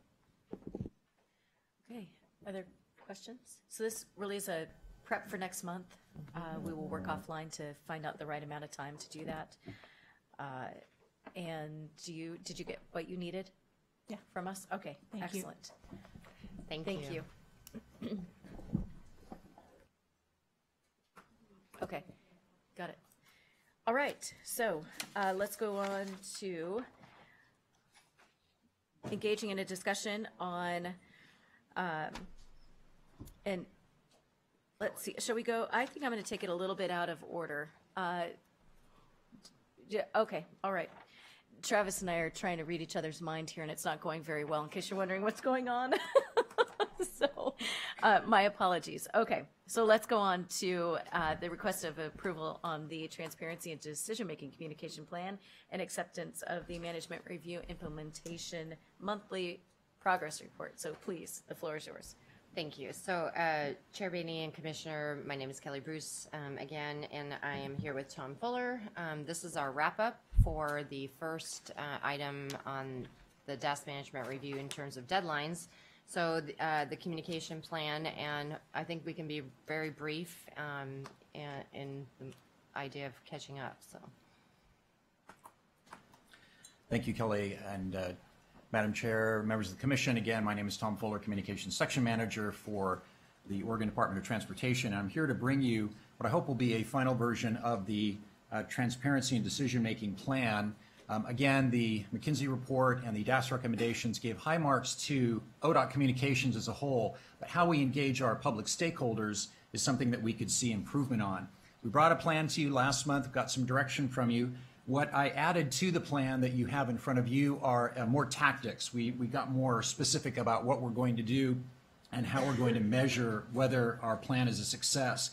And uh, Commissioner Brown asked us uh, to go out to some of the, the uh, area commissions on transportation and get their input, which just made too much sense, I must say, uh, since they're the audience group that we were really trying to improve communications with. Um, and so I received uh, three communications back from uh, ACT chairs, and uh, the areas where the plan was edited or um, changed because of, maybe we should, getting some feedback, sorry, the technical me is coming out. Um, where we made some changes in the plan are um, on page five, where we talk about um, staff members who engage with the ACTs and the metropolitan planning organizations will provide more time for ACT review of specific areas um, of uh, decisions that the uh, that the agency needs to make. And then uh, the second change that we made was the addition of a bullet where we will look for more meaningful ways of leveraging intersecting investment opportunities. And that was specific language that came from one of the, the ACT chairs. And then the second place where we edited the plan was in adding a section called improving the plan, because that was the second thing that the uh, ACT chairs uh, gave to us as, as far as recommendations, and that is doing some periodic surveys of our ACTs and ask them how are we doing with the plan and how can we improve in our uh, transparency in decision making. So those are my updates. Glad to ask any questions and then hope that we can uh, gain approval.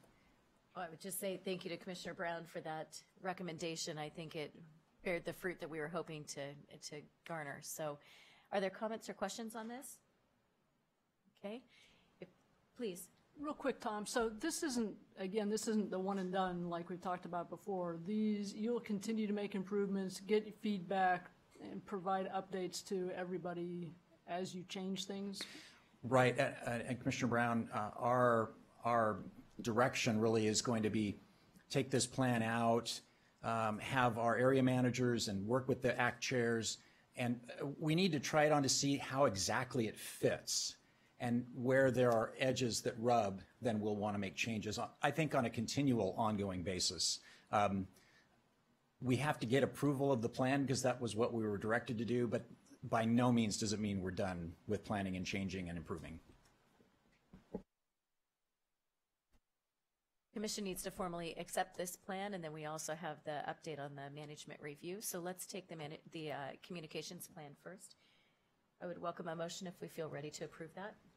Uh, Madam Chair, I uh, request that we first accept and then approve the uh, transparency and decision-making communication plan um, of the Transportation Management Review and Implementation and the Implementation Monthly Report. If I got all that right. Uh, Okay, Did I get that right? Close enough? Roll them together? Is it two, do we need them separate or we are? well, we haven't really received, um, do you have, you do have an update? A short, It, it's just a very brief update. I mean, we've pretty much covered some of the big ones, the communication plan, the strategic business plan, um, the governance piece. So we've talked about those three. So it'd be a matter of if the commission has questions about any of the other items that are on the progress report. okay. So I would just, uh, how Okay. about, I- May- I'll may we accept your, clarify? well, I'll accept your motion, but then I'll Okay. ask if there are other uh, questions or comments, and if it's a comment in reference to uh, clarity or edits or um, any input into the management progress report for this month?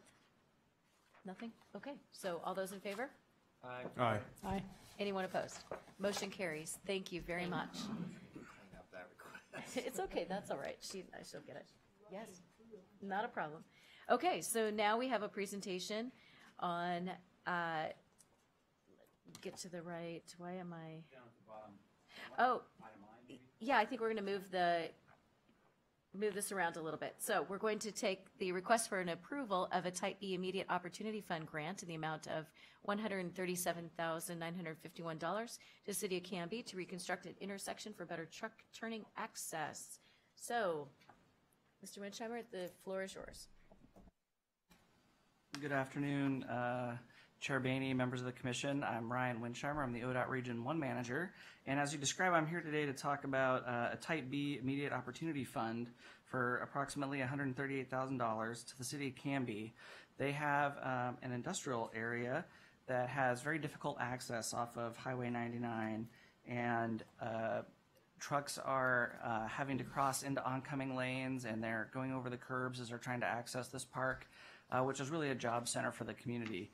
These improvements will help correct those deficiencies, improve safety, and obviously hopefully help keep the jobs uh, in the industrial area. Um, I'm joined up here this, this afternoon by uh, Business Oregon, by the Canby Economic Development Director, and by a developer who's taken this opportunity to leverage uh, a really important development for the city of Canby. And so I'd like to turn it over to them to tell you a little bit more about those. Good afternoon, Madam Chair, members of the commission. My name is Brian Guinea. I'm the Regional Development Officer for Business Oregon for the Portland metro area, uh, Clackamas, Multnomah, Washington County. Uh, Business Oregon has evaluated this project. Uh, pleased to bring it to your behalf uh, with the City of Canby uh, for the improvements in safety, transportation access, and the impact, immediate impact on jobs and economic development for the City of Canby and the region. Uh, and with that, I'll turn it over to the City of Canby. Thank you. Excellent, thank you. Please.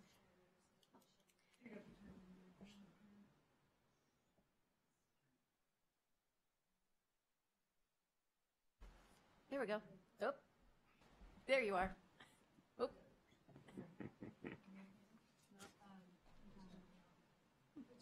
I like to move that we ha- order new mics. Okay, um, first one, we do this every meeting. sorry about that. Uh, Thank you, Madam Chair, members of the commission. Appreciate your taking time to hear this um, project today. My name is Renata Mengelberg. I'm the Economic Development Director for the City of Canby. And I'm here to say we're very excited about this project and, and hope that you'll support it. Um, It's a relatively modest project. We're asking for 137,951. We have uh, 50% matching funds already allocated, and we're ready to go as soon as you are, ready to partner with the ODOT team to implement this improvement right away. Um, It's very critical to our um, Northwest Industrial Park, which is home to three of our largest employers. Altogether, um, it represents 600 jobs to the community and there are 120 trucks a day that go through this intersection. It's very dangerous, and um, what we're finding is that trucks are avoiding this intersection and going through um, by a high school to be able to hit it head-on instead of trying to make the turn. If you were out the day, out there today, you would see um, truck marks well into the sidewalk, going over the ADA ramp and into the landscaping area to be able to make the turn. And that happens on a daily basis. So it's a very dangerous intersection. It's a very important truck route for us, and that's why we're encouraging your approval. Um, It's also important to the establishment of a quiet zone for the community, which is something that we've wanted for a lot of years. Um, That would um, eliminate the trains um, honking their horns at three different intersections through our downtown. That's really affecting the livability and the business climate there.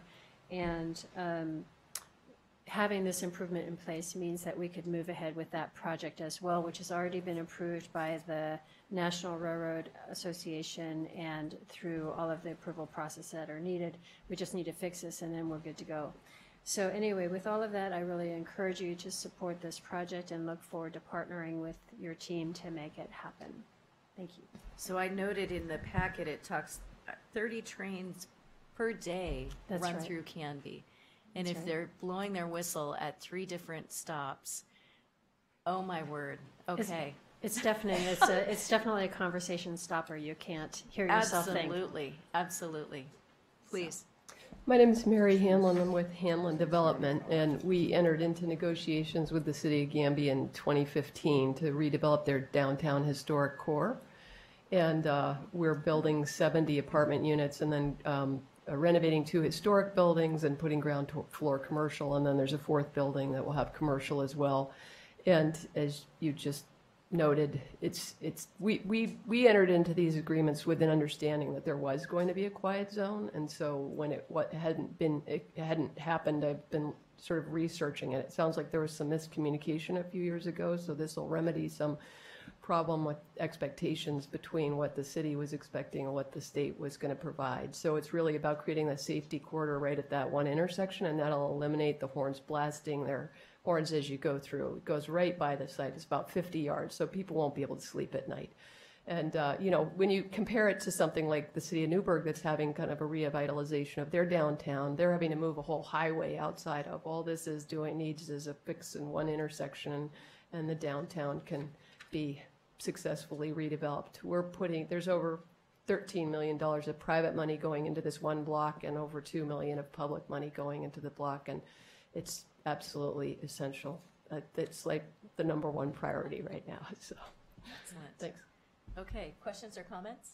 I don't know, there's, it just seems like such a softball, right? It, it seems like such an easy one to do, a lot of benefit for, uh, not a lot of money comparatively. You bet. And, um, it, it seems like you guys all have skin in the game and put a lot of thought into it. Anyway, I think it's, seem, it feels easy compared Okay. to some of the other ones we've had to chew on recently, but. So that anyway. sounds like a motion. Uh, well, unless there is other discussion, I'll just, I'll just roll right into it and, uh, request the approval of the Type B Immediate Opportunity Fund Grant in the amount of hundred and thirty-seven thousand nine hundred and fifty-one dollars to the city of Canby for the purpose of reconstructing an intersection for better truck turning access. Excellent. Do we have further comments or questions? Okay, all those in favor? Aye. Aye. No. Anyone opposed? Motion carries. Well done. Hallelujah. Yay! Thank you so much. Very much Yes. appreciate it. You bet. And thank you for the partnership with Business Oregon. Okay, now let's go on for, to item G. Receive a presentation and provide direction on a final funding allocation for 21-24 STIP. And Mr. Brouwer, Ms. Bohard, and Mr. Mather.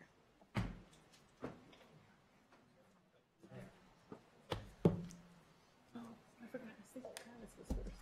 I was confused. I know.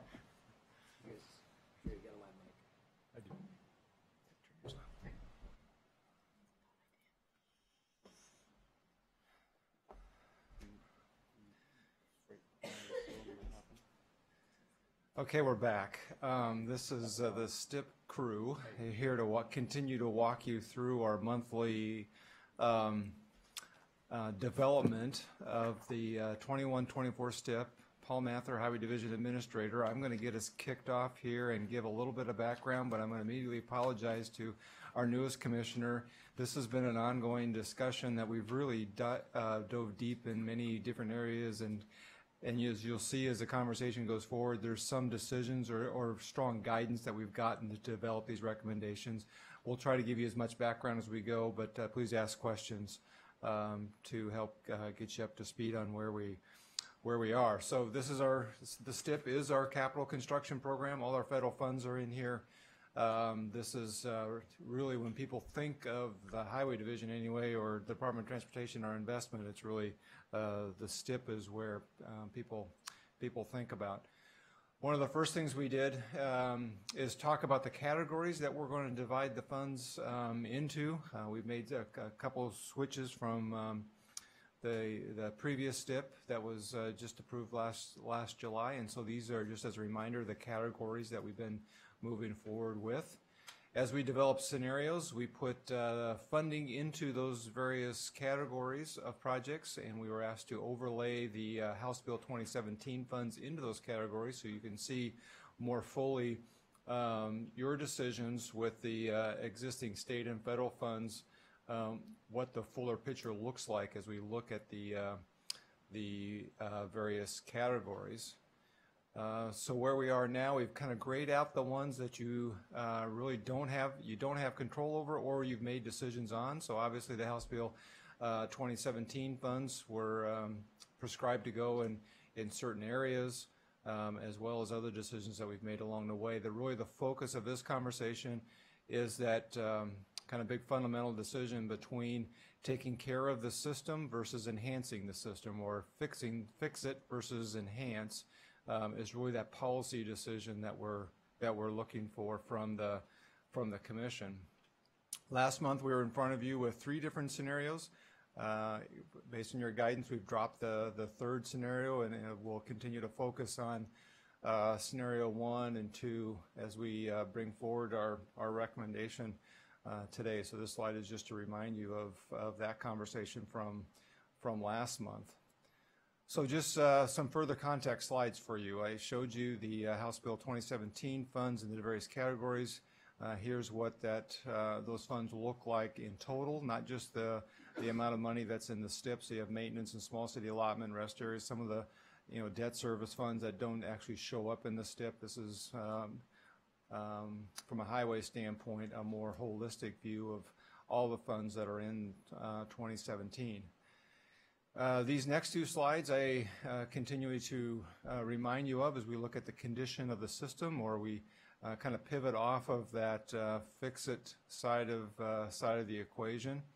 Again, the three lines on here, the status quo is based on our um, past steps without House Bill 2017, what our um, bridge conditions would look like. And so as you go up the graph, that's an increase in poor uh, condition of just the bridges on our critical routes. Um, as you remember in my previous presentations, this looks a lot worse. If you look at all our bridges, these are the bridges on the interstate and our major freight routes, um, is what this repre represents. This, the green line on here is House Bill 2017.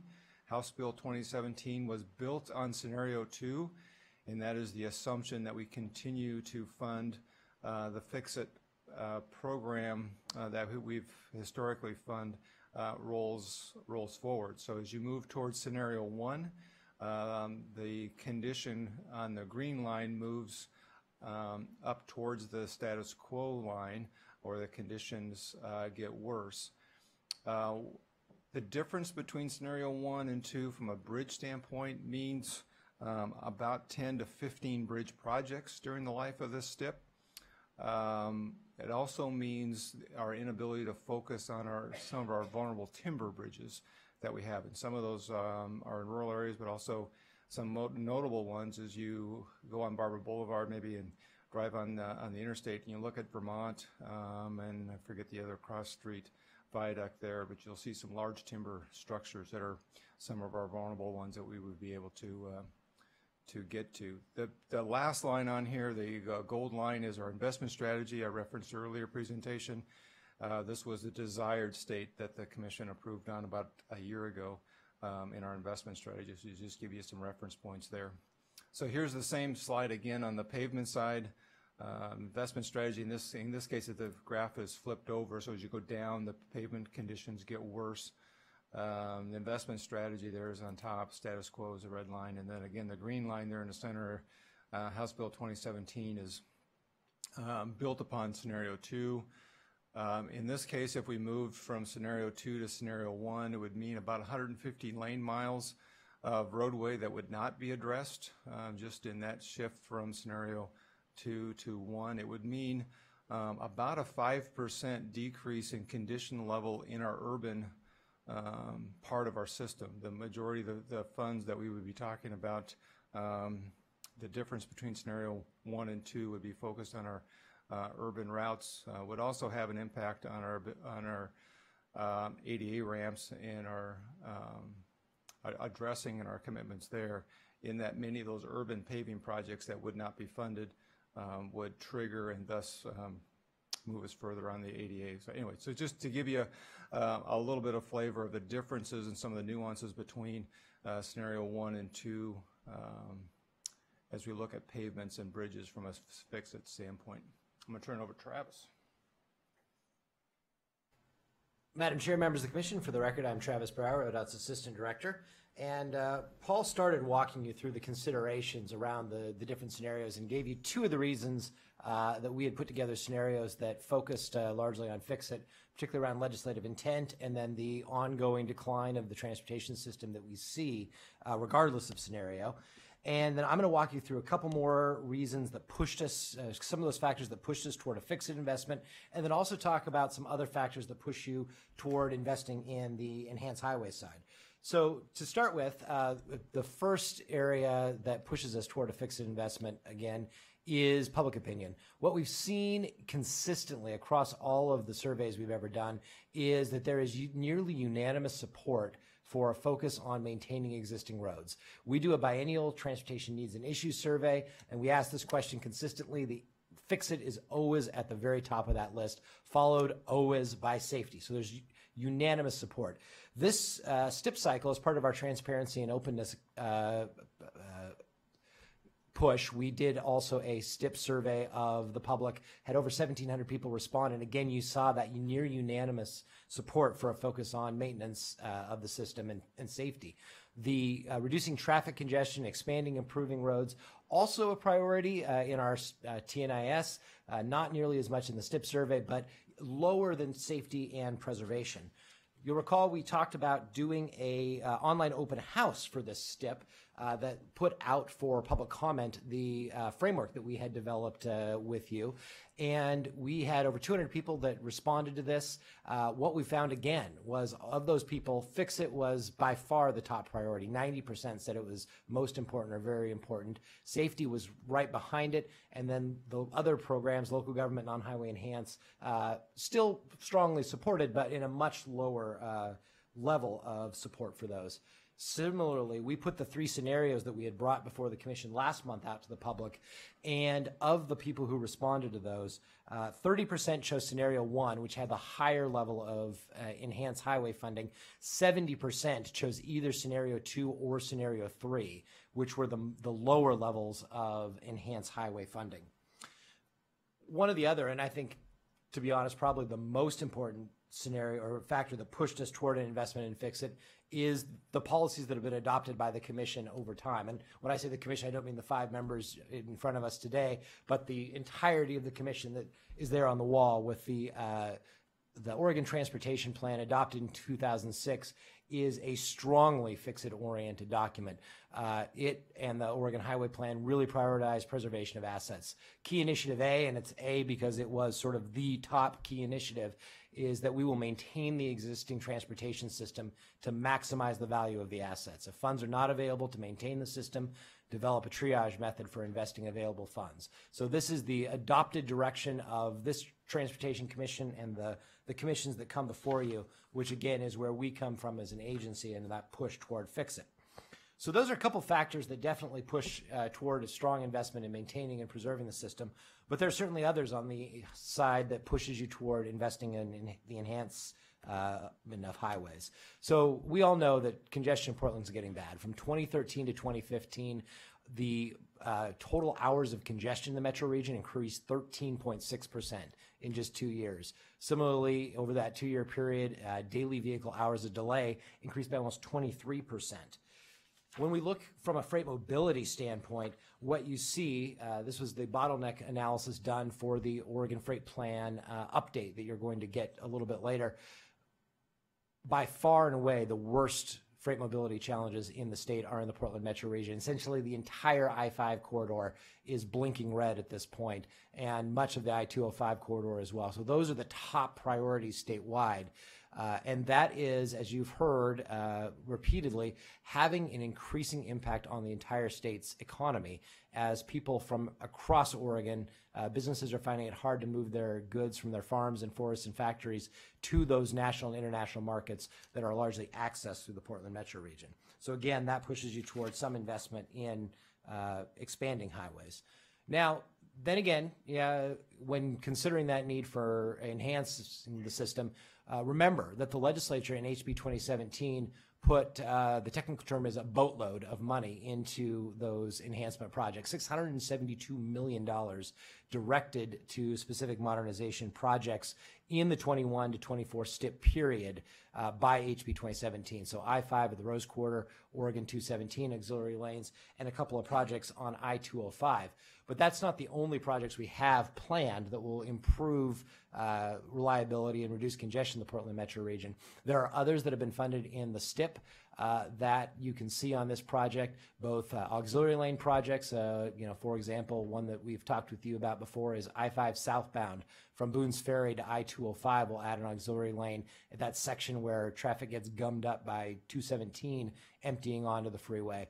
Also, uh, Region 1 has found some funding for a couple of auxiliary lanes on I-205, both, both north of I-84 and southbound from I-84 uh, as well as some of our uh, high-tech, real-time automated or active traffic management projects that uh, help improve safety and reliability on the system. So you can see there are a significant number of projects that will help improve traffic flow within the Portland metro region that are already funded regardless of what you do in the STIP. But what we heard from you last month was uh, an interest in exploring ways to target additional investments to congestion relief.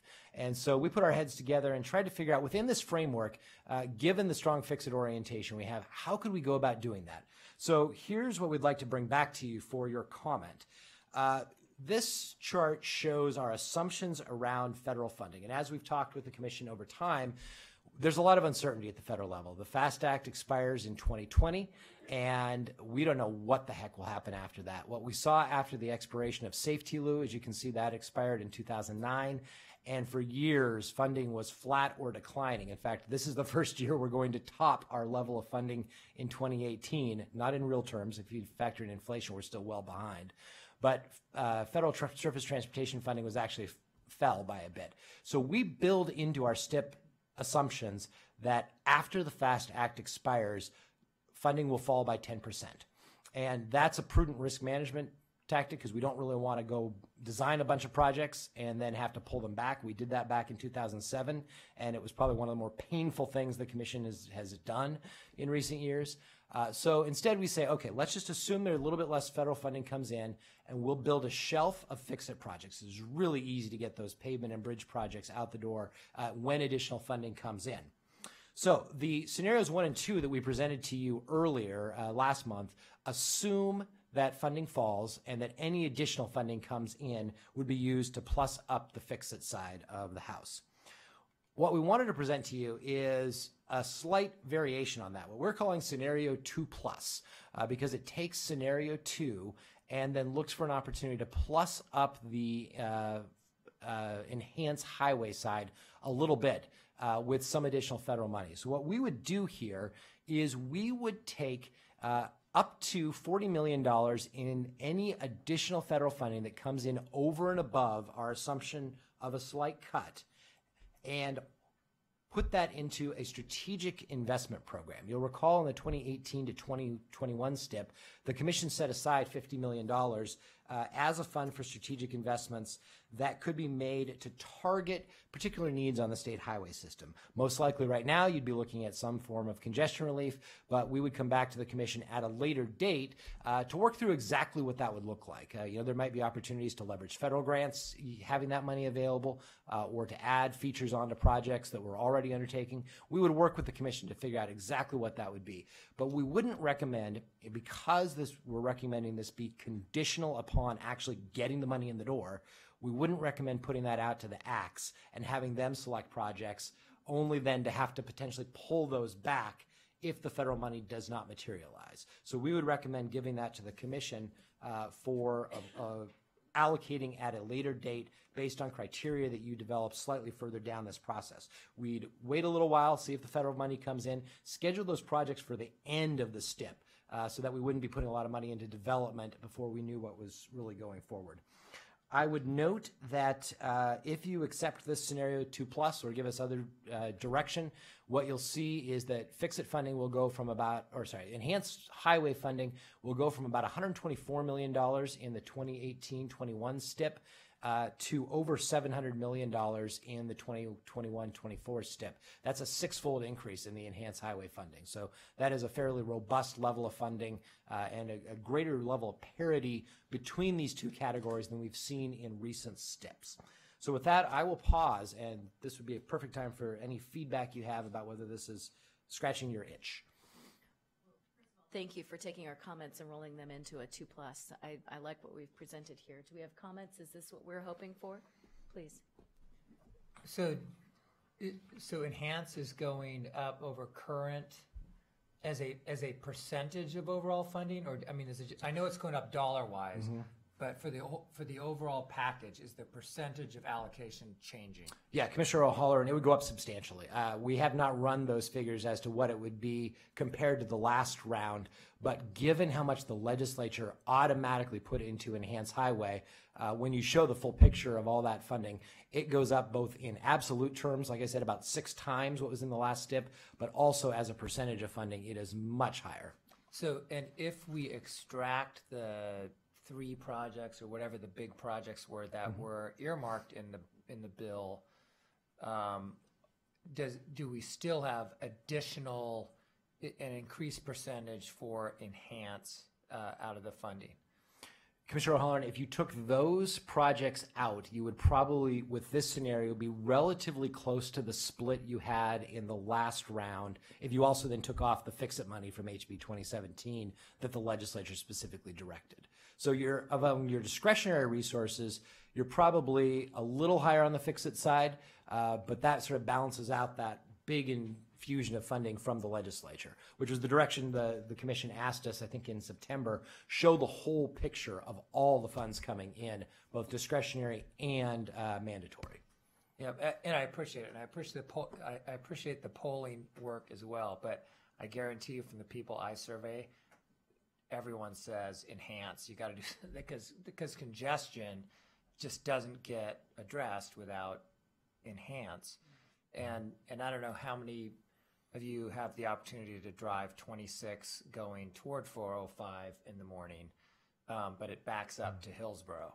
Um, and, and so, and I realize that some of this is outside, maybe outside the scope, but I think we have to look at some, some other stuff. And I don't even think it's a tunnel issue. I think, that I've been talking to Ryan about kind of some of the planning and some of the other stuff, but I think, um, Enhance has to consider it, we have to con- continue to focus on it if we're gonna just uh, address congestion. And so, um, I appreciate that and, uh, may want to go through the numbers a little, a little more closely, but appreciate the fact that the numbers tilt in that direction. Yeah, and Commissioner O'Hollaren, I can uh, reinforce, so when we actually did a regional breakdown with our uh, public opinion research, and what we found, it was interesting, in the Portland metro region, still most people actually say uh, preservation of the system and maintaining it, but it's a lot closer than it is in the rest of the state. And that mix is definitely moving toward addressing congestion in the last round of survey that we did. Yep, thank you. So given the House Bill 2017 numbers and, you know, huge infusion, as you already alluded to, if we do a two-plus scenario, will it allow us to leverage the enhanced dollars? That was one thing that we talked quite a bit about last time and at our workshop is how do we leverage those? How do we, for instance, go back to Leanne's comments this morning with safe routes to school? There may be a way to just a little bit more, and would this scenario allow us to do that? Commissioner Brown, uh, absolutely. That was one of the key features, and uh, Jerri in her wrap up will will sort of lay out the totality of those programs. Uh, what we proposed last month was that that uh, I guess it's orange slice that's labeled federal enhance would go out to the ACTs as a leverage program. Uh, one of three that we would recommend where the ACTs would be given the ability to use those funding sources to add features to fix it projects uh, that would sort of maximize the ability to leverage those funds uh, it would providing a more comprehensive solution in a community than you would be if you were just paving uh, through a community or, or just fixing a bridge. And certainly there are opportunities in these other programs as well. Safe Routes to School being a key one. As much funding, I think there's 37.5 million for Safe Routes to School in this STIP. And we absolutely are going to be looking for every opportunity we have to leverage that with other projects because what we see with, say, an, an ADA ramp, those are really expensive if you do them standalone. But if you can do an ADA ramp combined with uh, sidewalks, combined with paving or a safety project, you might be able to get some efficiencies and economies of scale. So with your, so that's the orange line. That gets us the, the plus on some of the other projects. Yep. The yellow piece is, we'll hold it and see what we got. I mean, that's basically what this two plus is saying. Yep, Commissioner Brown, that we allow the commission to define the program design and the criteria uh, as we get a little bit further into this process, uh, and you could determine, uh, you know, whether it was something you wanted to use for leveraging in other places. What we held back last time around, the $50 million, we said one of the criteria would be to try to leverage federal funds, give us an opportunity to have some money in the bank when there's a federal grant that comes in, and say the there's something called the infra grants, which are the for the freight mobility projects if we had a little bit of money that was ready in the STIP, we could go use that to try to leverage, say, 50 to 100 million dollars in, in federal funds. That might be one approach. Uh, there might be something else as well that we could look at for that funding. Last time you actually ended up in the 1821 STIP using that money for freight mobility enhancements because the primary source of that funding was actually the new federal freight funds.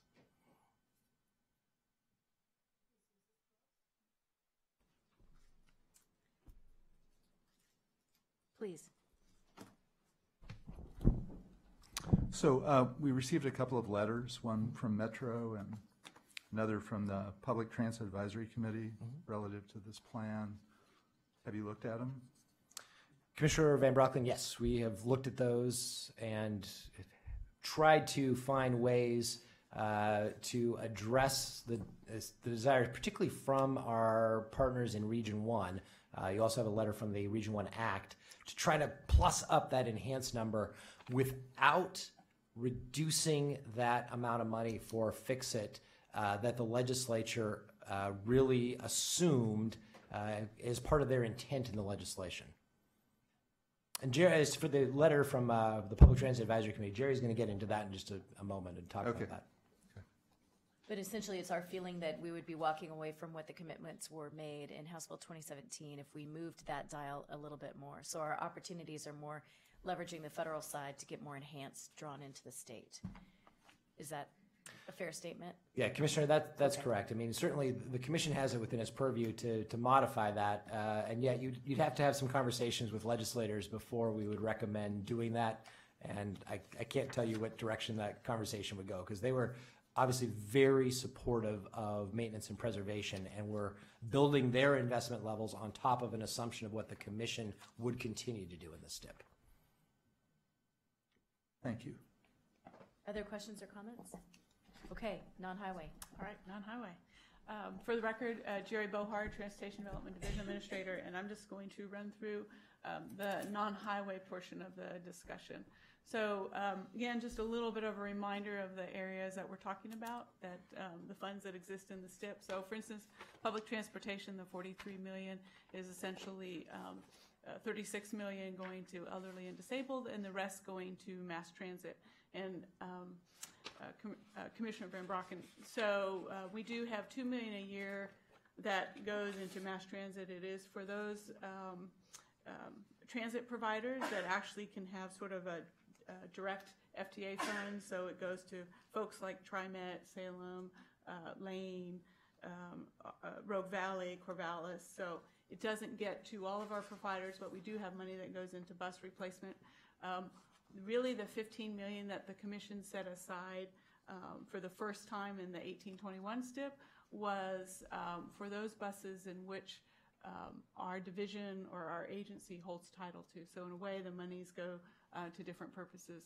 I think the other rationale, and I'll get into the slide in a minute, is that um, as you heard through House Bill 2017, I think uh, Leah Horner talking about the STIF funds and sort of recognizing that capital is an opportunity for um, so purchasing of buses can be used through some of the House Bill um, funds. So again, sort of recognizing there's never enough money for everything that um, we need to accomplish. So as uh, Travis mentioned, so the 60 million, essentially a, a little over uh, 35, uh, 37 million is from safe routes from the House bill, and then the 1% um, is for the bicycle and pedestrian program, and then the non-highway 51 million is sort of our state and um, federal um, requirements that we have, and it's really the 51 million um, that you have uh, discretion, and so um, this um, pie chart looks the same as uh, what we shared with you last month. We um, heard from you sort of a, uh, they seem to be heading in the right direction. So I think talked a little bit about the 21 million. So that's really that opportunity to sort of leverage the fix-it projects. Um, the 18 million, sort of a recognition since the last STIP. Um, we've had the um, settlement agreement. Um, we've had our transition plan right around ADA, so sort of recognizing that we have to make a commitment there. Um, and then I think you've seen a couple of letters really um, in support of um, increasing the safe routes to school education. And so this would be essentially uh, doubling that um, what was uh, currently in um, the safety division, Troy Costales' budget. Um, to do the outreach and the planning that we need to do that really supports the infrastructure program that is funded through uh, House Bill um, 2017. So again, so not a whole lot of changes to um, uh, the, the non-highway. So this really gets to what our recommendation is around, so we refer to it as scenario two plus. I think the important point, because um, one of the other criteria that you all had was really about how do we keep the ACTs engaged in the conversation. Um, and so the active transportation leverage, the safety leverage, and the statewide highway leverage would be really those opportunities um, for the ACTs to engage with our regions um, relative to how do you sort of take advantage and leverage those fix-it projects as they come forward. I think you heard Travis talk really about that the strategic investment conversation um, would be really the responsibility of the commission um, should we see those uh, additional funds. So that's really just sort of, um, as we went through this presentation, providing you with um, our recommendation. I think the important thing to note is just sort of the, the next step. So uh, I think we're hoping that we can um, finalize this um, in December.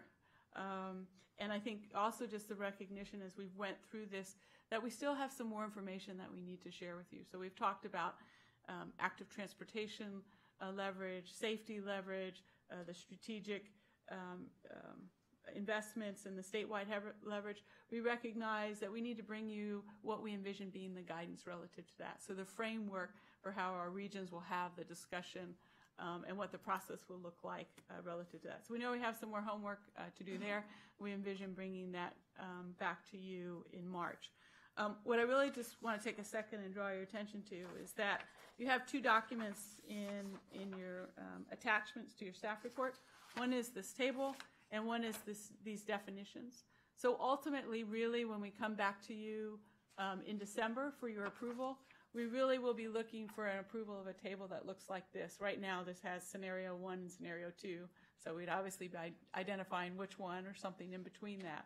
Um, but it just really highlights all the other things that you're approving, whether it's the amount of funds going to the immediate opportunity program, which you heard a project about just earlier, or some of the pass-through funds that go um, to our metropolitan planning organization. So just, just sort of a reminder that there's a couple other uh, numbers that are here, and that's really this table that you will um, be gabbling down on.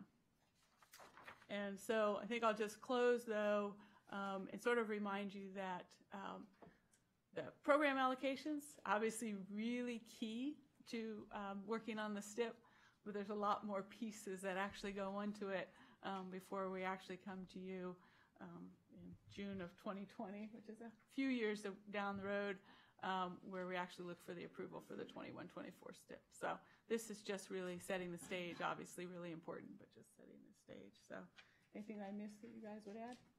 Okay. I have a, a quick question, and I appreciate, so when we met with the ACT chairs, there was a lot around leverage, there was a lot around flexibility. I'm hearing those themes come out, so I really appreciate that we're taking those things. We heard IOF, we heard um, you know, safety, of course, but we heard a lot about buses, and I we have another letter about buses. So could you? And I know you said it, but maybe it's just the uh, for me. If I need to replace a bus in this STIP, what is what is accessible uh, to an organization? Is that too simplistic of a way to ask it? But I. Uh, I, I get asked apparently this bus situation and the changes that could or may happen or may not uh, is creating some angst. Um, so, uh, Commissioner Baney, so within the two million a year that's in the STIP, so the six million, um, some of our larger transit providers um, actually submit to our um, uh, Rail and Public Transit Division. Um, I know last time when they selected it, they um, really had a, we were able to fund uh, 10 of the buses that were requested um, versus the 27 that were asked for. And it's a competitive process. And it's a competitive uh, okay. process, and I can't get too much into the particulars. I'd have to That's just defer fine. to to um, to Hal. Now, I, I will tell you sort of the recognition that um, it- that without the 15 million, um, Hal Gard did do um, some work, sort of looking at you know if you think about some of the charts that that Paul does relative to what happens to um, the condition. Um, you do see a reduction um, in the asset condition of our bus system of about about eight percent by not keeping up with the 15 million a year. Okay. Now, that's making the assumption that um, the uh, providers wouldn't use part of their STIF funds to also also do bus replacement. So he just he just basically looked at if there was no $15 million, what would that do to our asset condition? But again, they have it is allowed use within the new funds in House Bill 2017. Okay, very good. And with those funds, it's also uh, possible, I know for my own area, to leverage more federal funds coming into your own community. So there could be an enhanced way, and I don't know if those are for expansion of service directly or could be used for that capital, but um, Right. I get, I get the angst. It's my understanding that many of the buses were purchased in 2008. Is that? Yeah, they were and so- part of, and I'm going to forget what the acronym stands for, but part of the ARRA funds. And so the uh, lifespan of some of that uh, inventory is coming to an end. So I, I just want, for those that are concerned about that, it's, I want to make sure that we're clear on some of those challenges that'll be in front of us. Yeah, Chair Baney, for context, that was exactly what happened. The Recovery Act came in 2009 and provided a massive infusion in uh, that had to go into transit capital, could not be used for transit operations. So at that point, a, a, another boatload of buses were purchased, and the reason the commission chose to put additional money into the 1821 STIP was because those buses were then at the end of their life needing replacement, and so it was considered at the time by the commission, uh, I won't say a one-time investment, but there was n- in that discussion no ongoing commitment. It was to address that specific issue at that point in time. Thank you for that. Please, Commissioner Brown. So I hate to bring up a weird subject, but CMAQ in your, Oh, in my your favorite other. subject. I know it's your favorite, but is that in your, the chart that you talked about, Jerri? Uh, yes, it is, Okay, Commissioner. I figured it would be. And then um, if, if we go through, and I know we're not making all the decisions, but I won't be here in December, I think, Travis, to your, to the 50 million, if we carve, or 40 million, whatever it turns out to be, if we carve that off the top,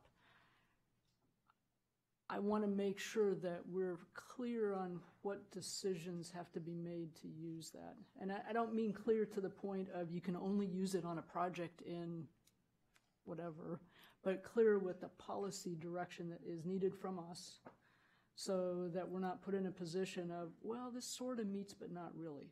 So I want to, as we get through to that guidance document, maybe that doesn't come back to us until June, um, just make sure that, that we follow up on that. So Commi- Commissioner, um, that's one of the things I think we envision bringing forth in March. I think at that point, it would just be sort of what the process would be, how we would engage with you or our external partners, whatever that might look like, not knowing if it's going to come to fruition or not, but to really set the, the process so that everybody's really clear, clear in the transparency of how the decisions will be made. And, and I think, just, sorry, last one. Because this depends, if I understood Travis correctly, this depends on how much federal funds we actually get in the first place. None of this is even uh, for sure, but if we did get it, it gets You would back go to to- you. exactly. So I, I think we need to be really clear with that decision that we're making also is, we're not just carving it off top. We're carving it off the next layer of if we get those funds. Yeah, Commissioner Brown, some of you are carving it off the bottom, uh, and if we get all the way down there, then yes, you'd have that opportunity to invest those funds. Given that you will not be here in December, getting us your thoughts is really important. So if I this. like two plus. Okay, all right, well then that's clear. All right. Commissioner Simpson, did you have, you're, okay? Commissioner, we're good? All right. Uh, Good direction. Thank you very much. Uh, We've heard a lot of input and you listened and put it right in there, so thank you. Okay, now we are going to go on to freight plan, I'm sorry? How about this? Would anyone like to approach us on the STIP process? Seeing none, there we are. All right. Uh, we did have a couple this morning, and we took those into account, and so, uh, Somebody got those in, I just Oh, want to okay. make sure that I give it to you.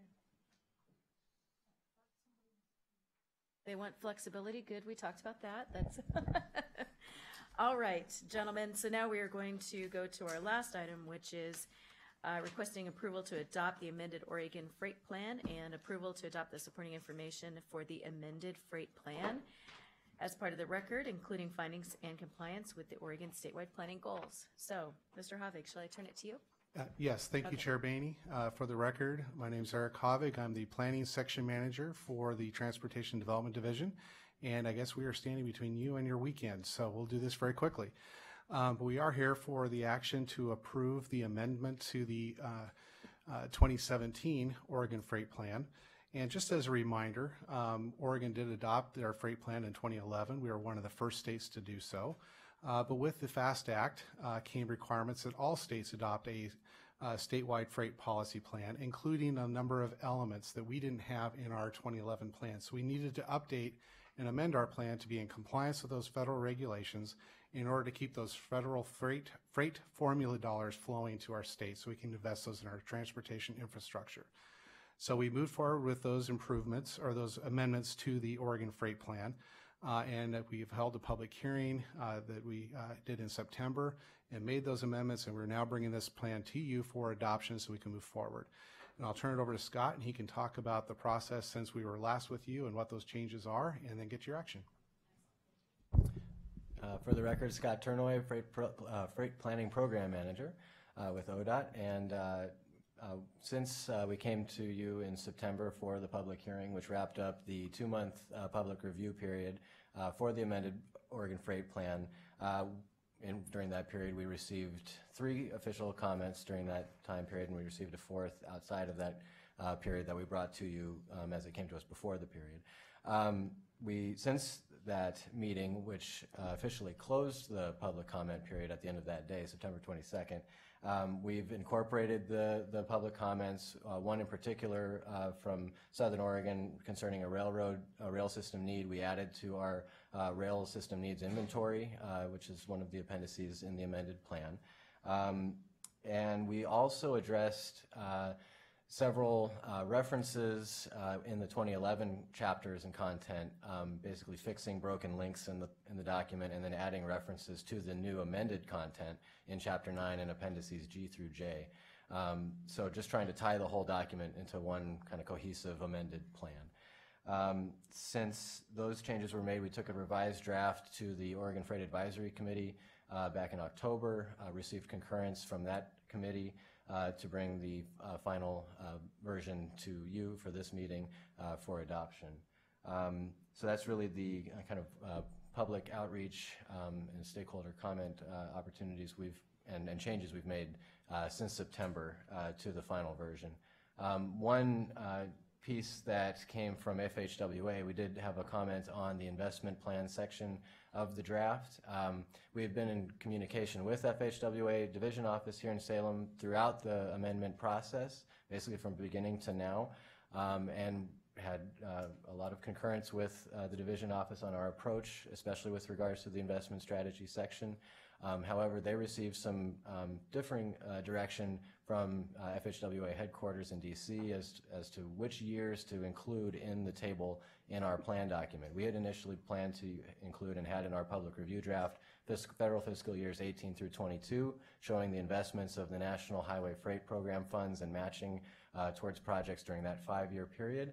The new direction from FHWA headquarters uh, encouraged us to include fe- federal fiscal years 16 through 20 into the plan, which reflects the FAST Act period uh, of funding that we know of. So that's the reason for the change. We've since made that change, and uh, the version in front of you now uh, incorporates that, those federal fiscal years and investments and match um, for projects.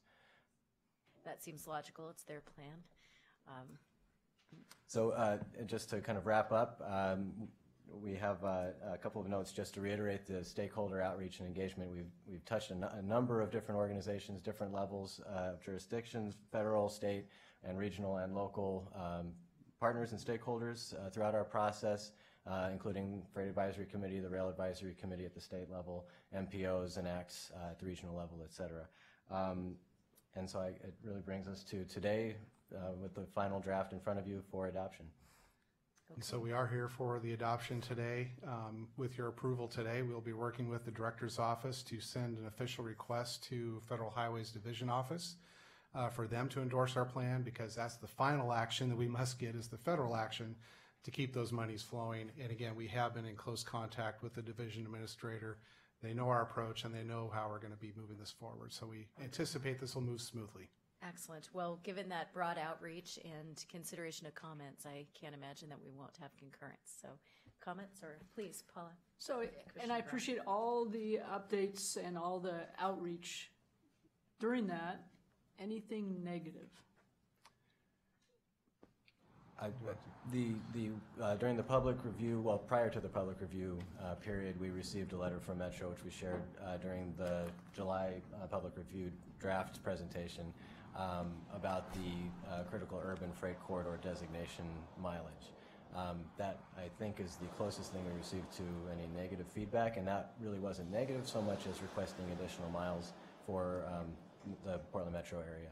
And so that was included, or were you unable to make, like, you know, my brain doesn't remember all those things. It's okay, mine either. Uh, Were you able to give them the extra mileage designation, or because of how tight the urban area was, you couldn't do that?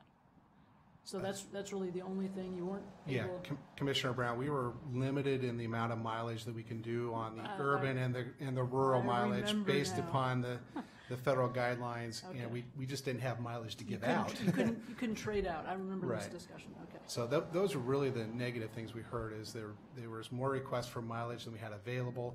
And of course, there's more requests for money that we have available. but, Always. um, But that was really it. Okay, great, Wh- thank you. wh- What is the formal process we would have to go through in order to increase mileage? Um, There's a federal, or Commissioner Simpson, there is a process that's outlined in the FAST Act that will increase the state's mileage every five years by 3%. Um, And that's controlled again by the statute and the FAST Act that will increase that mileage. So when we bring the plan back to you in five years, because we have to update it every five years, um, we'll have an opportunity to amend that mileage. Plus, we can even move it if we've completed a project to another area of the state that might be ready for an investment. Okay, if we feel ready, I'd, I'd welcome a motion.